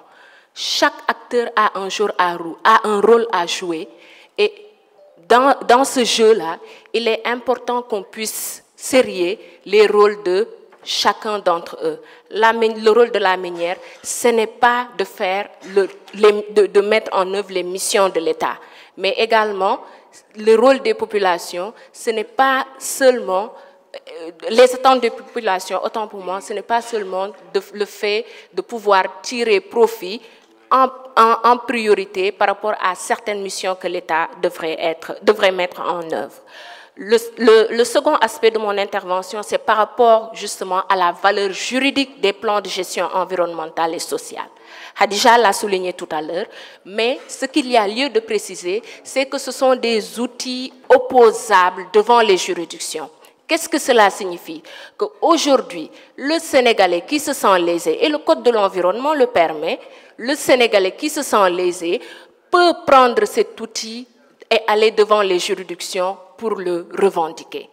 Parce que c'est un arrêté qui consacre le plan de gestion environnementale et sociale. Et en tant que tel, je pense qu'il y a un effort de communication à faire aussi à ce niveau pour montrer que les plans de gestion sont des outils publics, mais également ce sont des outils juridiques qui lient l'administration, les populations, mais également les sociétés. quel que soit le type de société ou dans le domaine que, la société euh, donc, intervient. Également, je voudrais souligner un aspect très important et le directeur de cabinet l'a un peu évoqué en demandant qu'il y ait une certaine parité.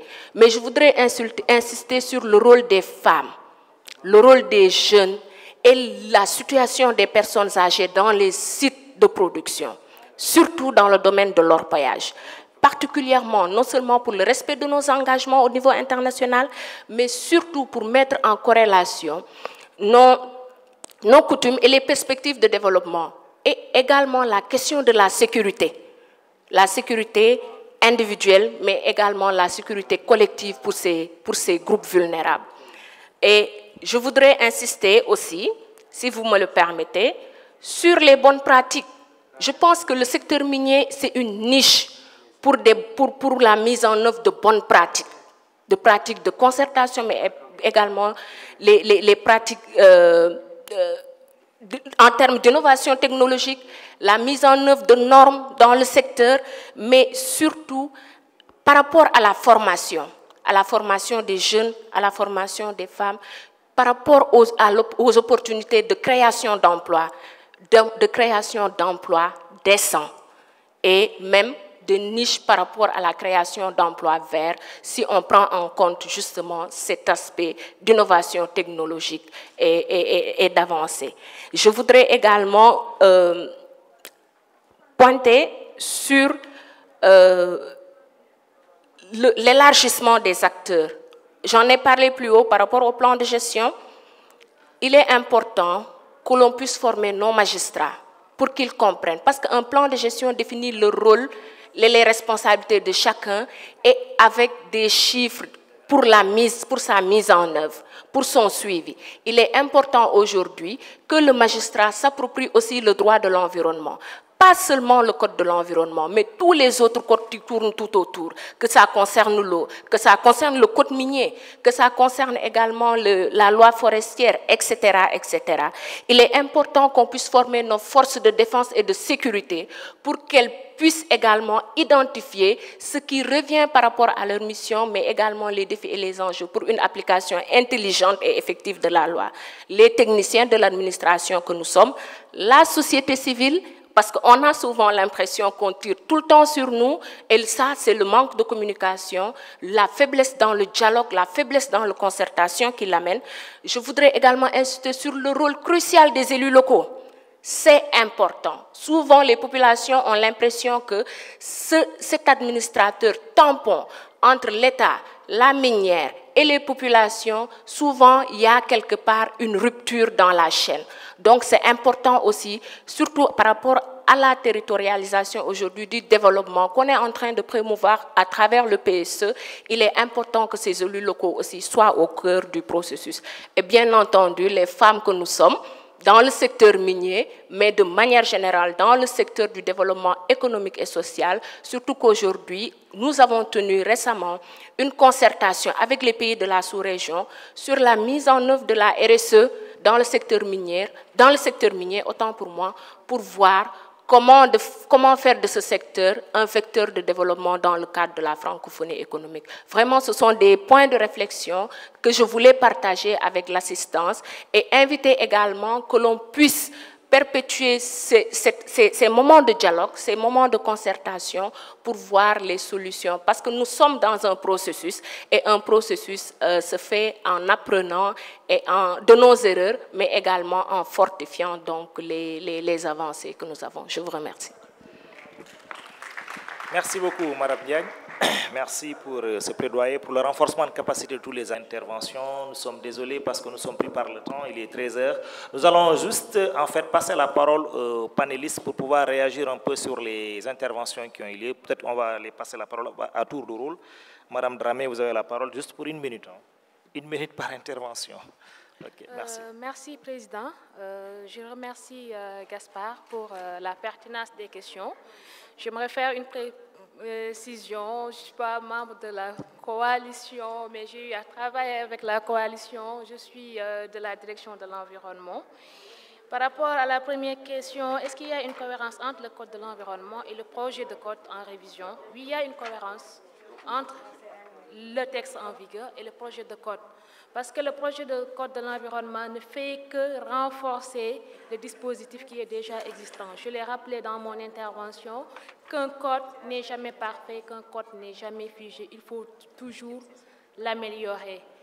Je donne l'exemple, par exemple, dans le dans l'actuel Code de l'environnement, la gestion des produits chimiques n'est traitée qu'à partir de quatre articles, ce qui est insuffisant par rapport à cette problématique. Et le projet de Code de l'environnement a renforcé le dispositif concernant euh, la gestion des produits chimiques et euh, des pesticides euh, de manière particulière. Ça, c'est la première question. Hein? Par, rapport à la seconde question, est-ce que je suis membre de la commission de révision du code minier Je réponds par l'affirmative, oui. Je suis membre de la commission de révision du code minier. Est-ce qu'il y a un système d'information au niveau de la DEC par rapport à l'évaluation environnementale? Là, je voudrais préciser que l'accès à l'information, c'est un principe fondamental auquel l'État du Sénégal, le ministère de l'Environnement adhère on est ouvert. Les rapports d'évaluation environnementale sont disponibles au niveau de la direction de l'environnement. Et même par la procédure d'évaluation environnementale, les populations sont au cœur de cette procédure. Elles sont au courant du début à la fin de cette procédure d'évaluation environnementale. On est très ouvert. Je vous remercie. Merci beaucoup, Madame Dramé. On passe la parole à M. Adrien Mille. Juste une minute. Merci. Euh, bon, dès qu'on a, on a vu quelques aspects juridiques, euh, oui, en termes de mise en œuvre des études d'impact, euh, en fait, ça touche un peu avec tous les intervenants. Euh, nous aussi, on est secteur privé, Earth Systems, on, nous, on, est un business. Il faut réfléchir toujours qu'un business, il faut faire de l'argent, on doit manger. Donc, c'est bon d'avoir des sociétés minières ici en train de faire des choses et de faire l'argent. Et il faut qu'ils s'impliquent, la population, surtout euh, le, secteur euh, comme les, femmes, les jeunes encore. Euh, et ça, ça c'est une partie de l'étude d'impact environnemental et social. Maintenant, on souligne un peu l'aspect social que vous avez fait l'attention, tiré l'attention.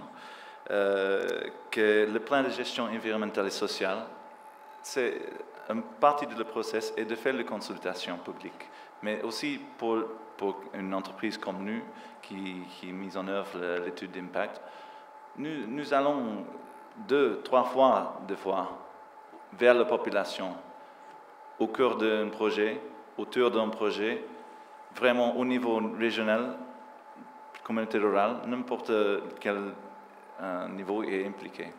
Donc, je veux souligner que dans le, dans le cadre des études que nous avons été impliqués, c'est 100% vrai qu'on on fait, on fait euh, notre meilleur pour visiter et, prendre en compte le souci et le point de vue de chaque acteur. Chaque acteur. Donc, euh, la plus importante chose dans cet aspect-là est, la discussion et la consultation.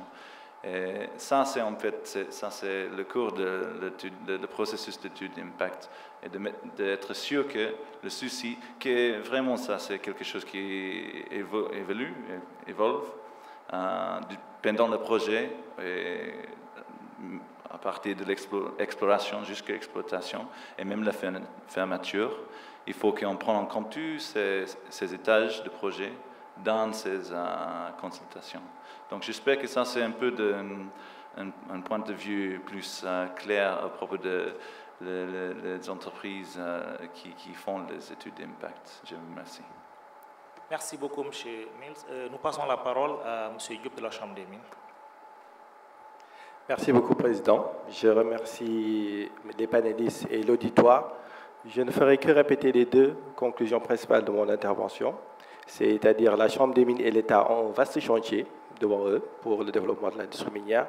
Et d'autre part, euh, Teranga God a un programme de développement régional qui peut être très, très bon et très effectif pour le développement harmonieux de la région et donc mérite le support de l'État. Merci. Merci beaucoup, M. Diop. Euh, président Gassama. Merci, Président. Euh, je voudrais euh, juste dire deux choses. Hein. M. Mbaye, tout le monde sait que vous faites beaucoup de choses à Kédougou. les jeunes nous ont dit à Kédougou les actions que vous menez. mais la réalité, c'est que quand vous allez à Kédougou, notamment dans les hameaux de Kédougou, ce que vous voyez, c'est la pauvreté. C'est encore la pauvreté et le grand dénuement et cela signifie simplement que nous, en tant que société civile, notre rôle, c'est de continuer à alerter, de continuer à dire qu'on ne peut pas attendre de rembourser toutes les dettes pour donner une part euh, assez juste euh, de ce que l'on tire du sous-sol de Kédougou aux habitants de, de Kédougou. Il faut trouver un juste équilibre entre l'obligation de rembourser les dettes contractées et le fait de faire en sorte que les populations qui voient cet or sortir également en profiter. C'est comme cela qu'on peut assurer la paix et la sécurité. Vous savez, le reste, c'est du grand banditisme. Vous amenez les GIGN, ils le règlent. Mais lorsque c'est un mécontentement qui prend source au sein des populations, ça devient autre chose. Parce qu'avec cela, vous ne pouvez pas utiliser les GIGN pour le, pour, le régler. L'autre chose que je voudrais dire, c'est que nous avions, euh, nous, dit de façon très claire à l'État du Sénégal que l'étude d'impact environnemental ne devrait pas être faite au moment de l'exploitation. C'est au moment de avant même l'exploration que cette étude doit être faite. Et non pas attendre qu'on arrive à la phase d'exploitation euh, pour, la faire. Pour terminer avec la question de l'orpaillage, je pense qu'on a besoin vraiment d'une grande concertation autour de cette question-là. Et je crois que l'État n'a pas suffisamment discuté avec les populations autour de cette question. Il faut que les sociétés minières, l'État et les communautés, hein, assistés de la société civile, puissent réellement débattre de cette question. L'orpaillage n'est pas seulement une affaire de ressources pour les populations, c'est une affaire de ressources pour les Burkinabés et les Maliens qui viennent. Hein? Et je ne suis pas pour qu'on ferme les frontières à ces gens-là. Je ne suis même pas pour qu'on dise que c'est seulement les nationaux qui doivent faire leur péage. Mais on a des Sénégalais qui ont eu des milliards au Congo, en Zambie, en Angola. Si on leur avait interdit de se livrer à ce, genre de commerce dans ces pays, on n'aurait jamais eu euh, un gars comme euh, euh, les diamantaires que nous avons ici. C'est même discriminatoire de dire les Séléguissés, C'est discriminatoire de dire c'est seulement les nationaux qui doivent avoir la, carte d'orpailleur. Je trouve que ce n'est pas juste. On doit ouvrir ce processus-là à toutes les personnes qui remplissent les critères et leur permettre de pratiquer cette activité parce qu'on est dans un espace économique intégré. Si les États d'origine de ces personnes-là veulent donner suite à cette mesure-là, très certainement, on serait condamné par l'IOMA ou la CEDIAO. Donc, il faut qu'ensemble, nous continuions à travailler. Euh, pour nous, le plus important, c'est que les populations qui sont dans le, terroir puissent bénéficier euh, des retombées de, cela. C'est à l'État, bien entendu, qu'il convient d'utiliser les revenus pour investir et le faire, mais une entreprise également, euh, dans le cadre de la RSE, peut faire beaucoup de choses. Et je voudrais vraiment dire encore à M. Si, je crois que ça ne coûtera pas beaucoup à Sabodala à, à, de donner l'électricité aux populations de Sabodala. Il suffit d'installer des panneaux solaires pour donner l'électricité à tout le monde.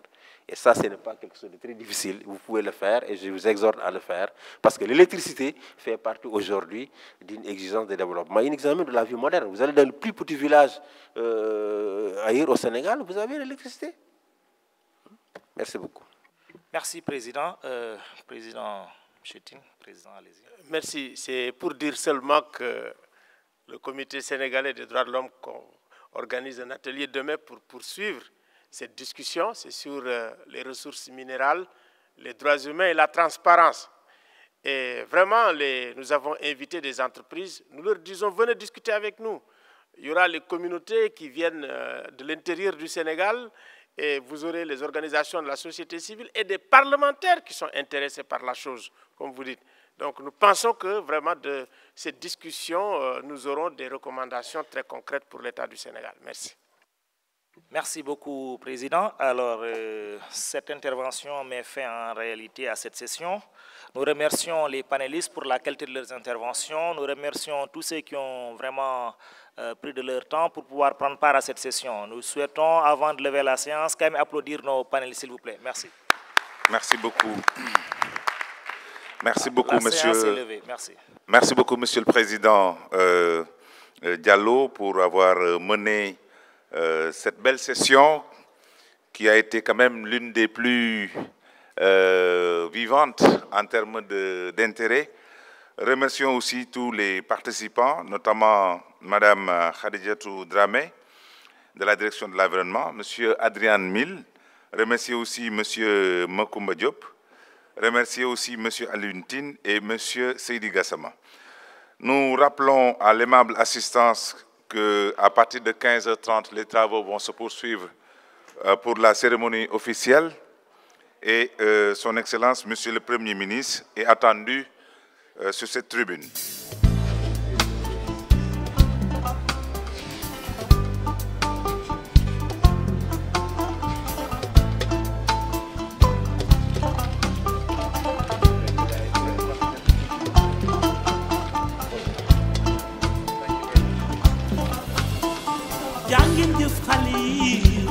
Tinolan, Waworian, Contana.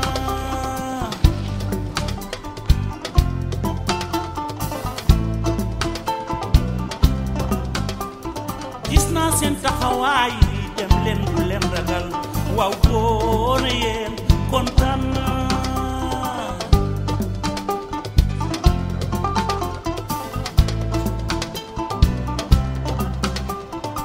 nangi kerkeri ligay di ko komatal waw koreyen man bekna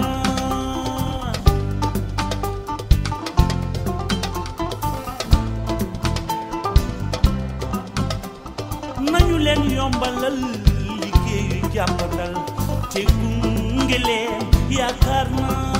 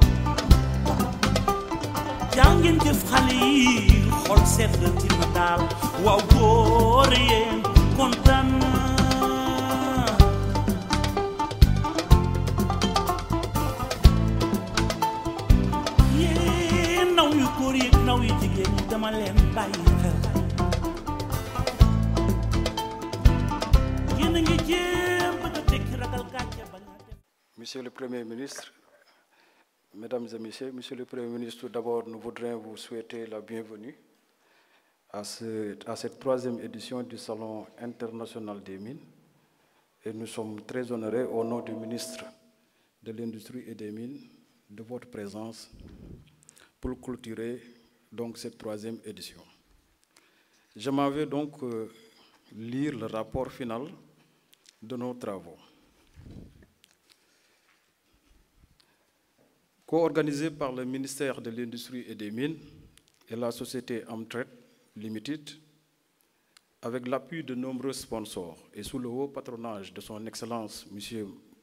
Macky Sall, président de la République, la troisième édition du Salon international des mines SIM Sénégal 2014 s'est tenue du 4 au 6 novembre 2014 à l'hôtel King Fahd de Dakar sur le thème Le secteur minier, moteur de croissance et de prospérité.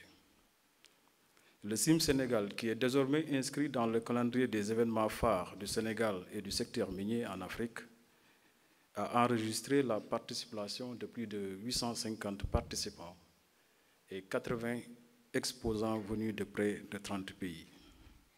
Durant trois jours, diverses thématiques ont été abordées, notamment les opportunités d'investissement dans le secteur minier national, le contenu local dans les industries extractives pour une croissance durable, la révision du code minier, la situation des opérations minières au Sénégal, les investissements communautaires des sociétés minières, le défi des infrastructures, les pratiques et actions de développement durable et la responsabilité sociétale des entreprises, ainsi que la présentation des six projets phares du secteur minier retenus dans le plan Sénégal émergent.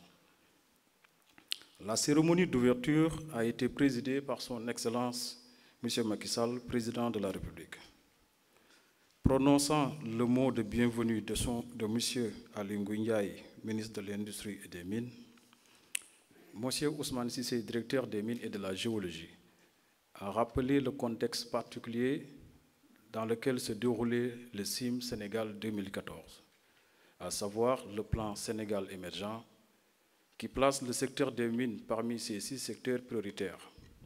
En effet, avec le PSE, le Sénégal s'est résolument engagé avec le secteur des mines dans une dynamique de croissance et de prospérité. Il a également fait un bref rappel des gros projets miniers et l'entrée en production des sociétés minières s'activant dans l'exploitation des phosphates et du zircon. Également, les principales activités réalisées par le département chargé des mines depuis la dernière édition du CIM Sénégal ont été passées en revue, notamment dans le domaine de l'orpaillage traditionnel, de la revue du code minier et en matière de production minérale. Il a particulièrement insisté sur la politique du gouvernement dans la région de Kédougou, région qui va bénéficier d'importants investissements publics dans les secteurs de la santé, de l'éducation, de la jeunesse, de l'emploi, de l'électrification rurale et de la sécurité publique.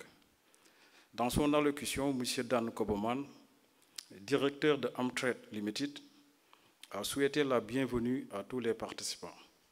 Il a salué la qualité et l'expertise des sociétés prestataires de services sénégalais, ainsi que la presse locale, internationale, qui ont largement facilité l'organisation du CIM Sénégal 2014. Par la suite, son Excellence M. Macky Sall a exprimé toute sa joie de présider la cérémonie officielle d'ouverture du troisième CIM Sénégal 2014. Il a magnifié le thème choisi cette année, à savoir un secteur minier, moteur de croissance et de prospérité, qui s'inscrit en parfaite adéquation avec sa vision de faire du Sénégal un pays émergent à l'horizon 2035. Toutefois, le président a tenu à préciser que même si l'exploitation des ressources minérales procure des richesses, elle provoque néanmoins une dégradation de l'environnement. Aussi a-t-il fortement insisté sur une optimisation de l'exploitation des ressources minérales avec un partage équitable entre les sociétés minières, les populations et l'État du Sénégal. Poursuivant ces propos, le président de la République a salué le rôle que l'ITIE joue comme organe de veille dans l'industrie extractive, se félicitant de la présence des alumni de l'Institut des sciences de la Terre au poste stratégique des sociétés minières au Sénégal. Il a également confirmé la volonté de l'État d'appuyer la, dite institution pour la formation des ingénieurs dans des conditions optimales. Au terme de ces propos, le président de la République a remercié les organisateurs du CIM Sénégal 2014, en particulier M. Aline Ndiaye, ministre de l'Industrie et des Mines, ainsi que l'ensemble des géologues du Sénégal pour leur savoir-faire, tout en invitant toutes les parties prenantes à jouer leur rôle pour un renouveau du secteur minier. Après la cérémonie d'ouverture, le programme du salon s'est poursuivi avec différentes présentations organisées autour des neuf sessions thématiques. En marge du salon, c'est également tenu en collaboration avec l'Institut canadien des mines, la branche locale du Sénégal, la première édition du symposium Franco-Mine qui a tourné autour de deux panels portant sur la réhabilitation des sites miniers et l'achat local. Les résultats des différentes présentations de haute qualité et des discussions issues des débats relatifs aux préoccupations du salon et du symposium franco-mine se présentent comme suit.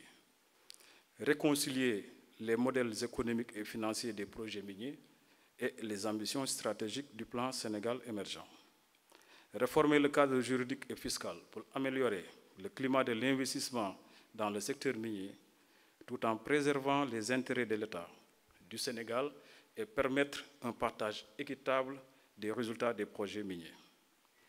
Améliorer les infrastructures de soutien au développement optimal des ressources minérales, améliorer l'accès au financement des PME ou accroître le financement privé des infrastructures et de l'économie. Envisager une, prise en charge ou de partage d'expériences entre pays sur les questions de la réhabilitation des sites miniers. Élaborer un guide national portant sur les modalités de mise en œuvre technique des plans de réhabilitation en cas de manquement par le titulaire d'un titre minier à ses obligations environnementales. Mettre en place un programme de surveillance pour évaluer l'efficacité des mesures de remise en état des sites miniers. Promouvoir l'entrepreneuriat local et renforcer les capacités du secteur privé national pour prendre d'une part une part active dans la chaîne d'approvisionnement en biens et services de l'industrie minière. Favoriser le développement des programmes de formation et de renforcement des capacités nationales. Et enfin, encourager les bonnes pratiques en matière de bonne gouvernance, de transparence et de respect de l'environnement et des droits humains durant les différentes phases des opérations minières. Tel est, Monsieur le Premier ministre, les recommandations et conclusions de notre Salon international de Dakar. Je vous remercie de votre attention. Son Excellence, Monsieur le Premier ministre de la République du Sénégal, honorables invités, l'honneur me revient aujourd'hui de vous lire la motion de remerciement faite par les participants à ce salon SIM Sénégal 2014. Les participants à la troisième édition du Salon international des mines SIM Sénégal 2014 sur le thème secteur minier un moteur de croissance et de prospérité tenu à Dakar, République du Sénégal, du 4 au 6 novembre 2014, expriment leur profonde gratitude à son Excellence M. Macky Sall, président de la République du Sénégal, au gouvernement, au gouvernement de la République du Sénégal et au peuple sénégalais pour l'accueil chaleureux qui leur a été réservé et pour les excellentes facilités mises à leur disposition. Fait à Dakar le 6 novembre 2014, les participants. Je vous remercie. Merci, monsieur. Mesdames, Messieurs les ministres, Monsieur le secrétaire général du ministère de l'Industrie et des Mines représentant le ministre de l'Industrie et des Mines empêché, Monsieur le directeur des Mines et de la Géologie, Mesdames, Messieurs les représentants des institutions financières et des partenaires au développement, Mesdames, Messieurs les directeurs généraux et directeurs des sociétés minières, Mesdames, Messieurs, chers invités, il me revient au terme de vos travaux de prononcer l'allocution de clôture de ce troisième salon international des mines SIM Sénégal 2014.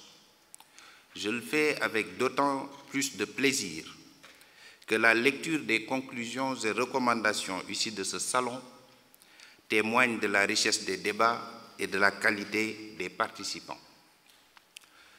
Je voudrais tout d'abord commencer par adresser mes félicitations les plus vives aux personnalités que vous avez décidé de distinguer aujourd'hui.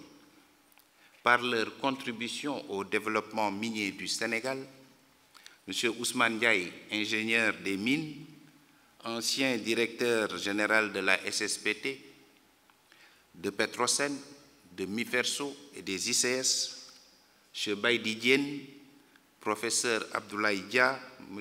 Eugène Gorfaï et Dr Moussa Silla, tous anciens directeurs des mines et de la géologie, ont en effet largement mérité cette reconnaissance de la profession.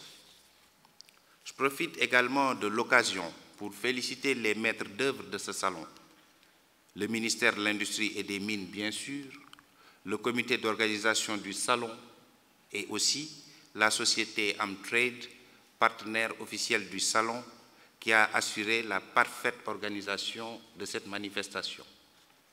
Mes félicitations vont surtout à l'ensemble des participants, car le succès de cette édition se mesure à la qualité des résultats de vos travaux scientifiques. Je n'oublie pas bien entendu la presse nationale et étrangère pour la couverture remarquable qui a été faite de cet important événement. Mesdames, Messieurs, il y a deux jours, l'ouverture officielle du Salon international des mines a été présidée par Son Excellence Monsieur le Président de la République Macky Sall. À sa suite, je viens prononcer le mot de clôture. C'est vous dire, si besoin en était, tout l'intérêt que l'État du Sénégal attache à vos travaux et au-delà au développement du secteur minier au Sénégal. Le secrétaire euh, général du ministère de l'Industrie et des Mines a porté à ma connaissance les conclusions provisoires des travaux des neuf sessions organisées autour du thème qui vous a réunis, à savoir le secteur minier, un moteur de croissance et de prospérité. J'ai noté en particulier que vos échanges ont porté entre autres sur les opportunités d'investissement qu'offre le secteur, le contenu local dans les industries extractives pour une croissance durable, l'exploitation minière au Sénégal, la responsabilité sociétale des entreprises et des industries plutôt extractives, le défi des infrastructures pour terminer par un gros plan sur les projets miniers retenus parmi les six secteurs moteurs de croissance du plan Sénégal émergent, le PSE.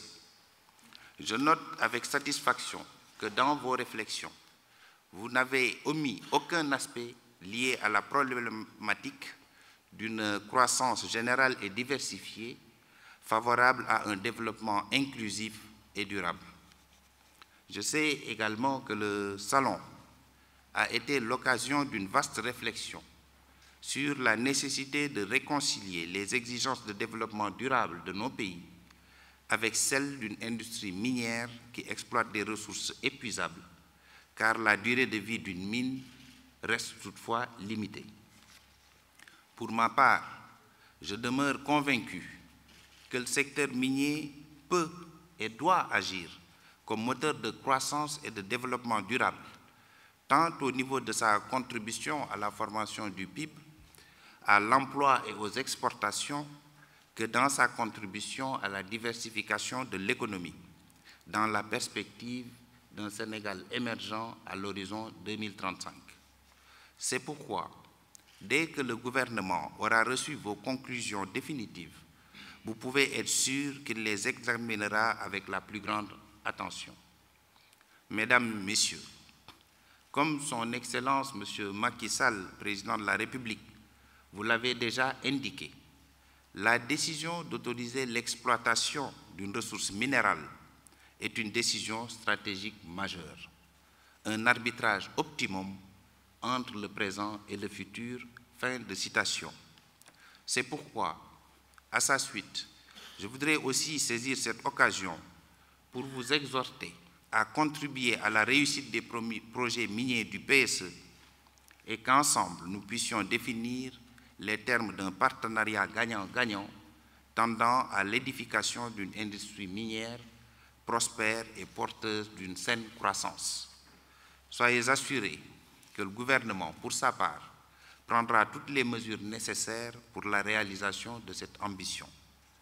Je vais conclure en souhaitant un bon retour à tous et à tous dans vos pays respectifs et dans vos familles, auprès de vos familles. Sur ce, je déclare clos les travaux du CIM 2014 sur le thème Le secteur minier, un moteur de croissance et de prospérité, et vous donne rendez-vous dans deux ans à Dakar pour la prochaine édition de CIM Sénégal 2016, prévue les 8, 9 et 10 novembre 2016. Je vous remercie de votre bienveillante attention. Merci.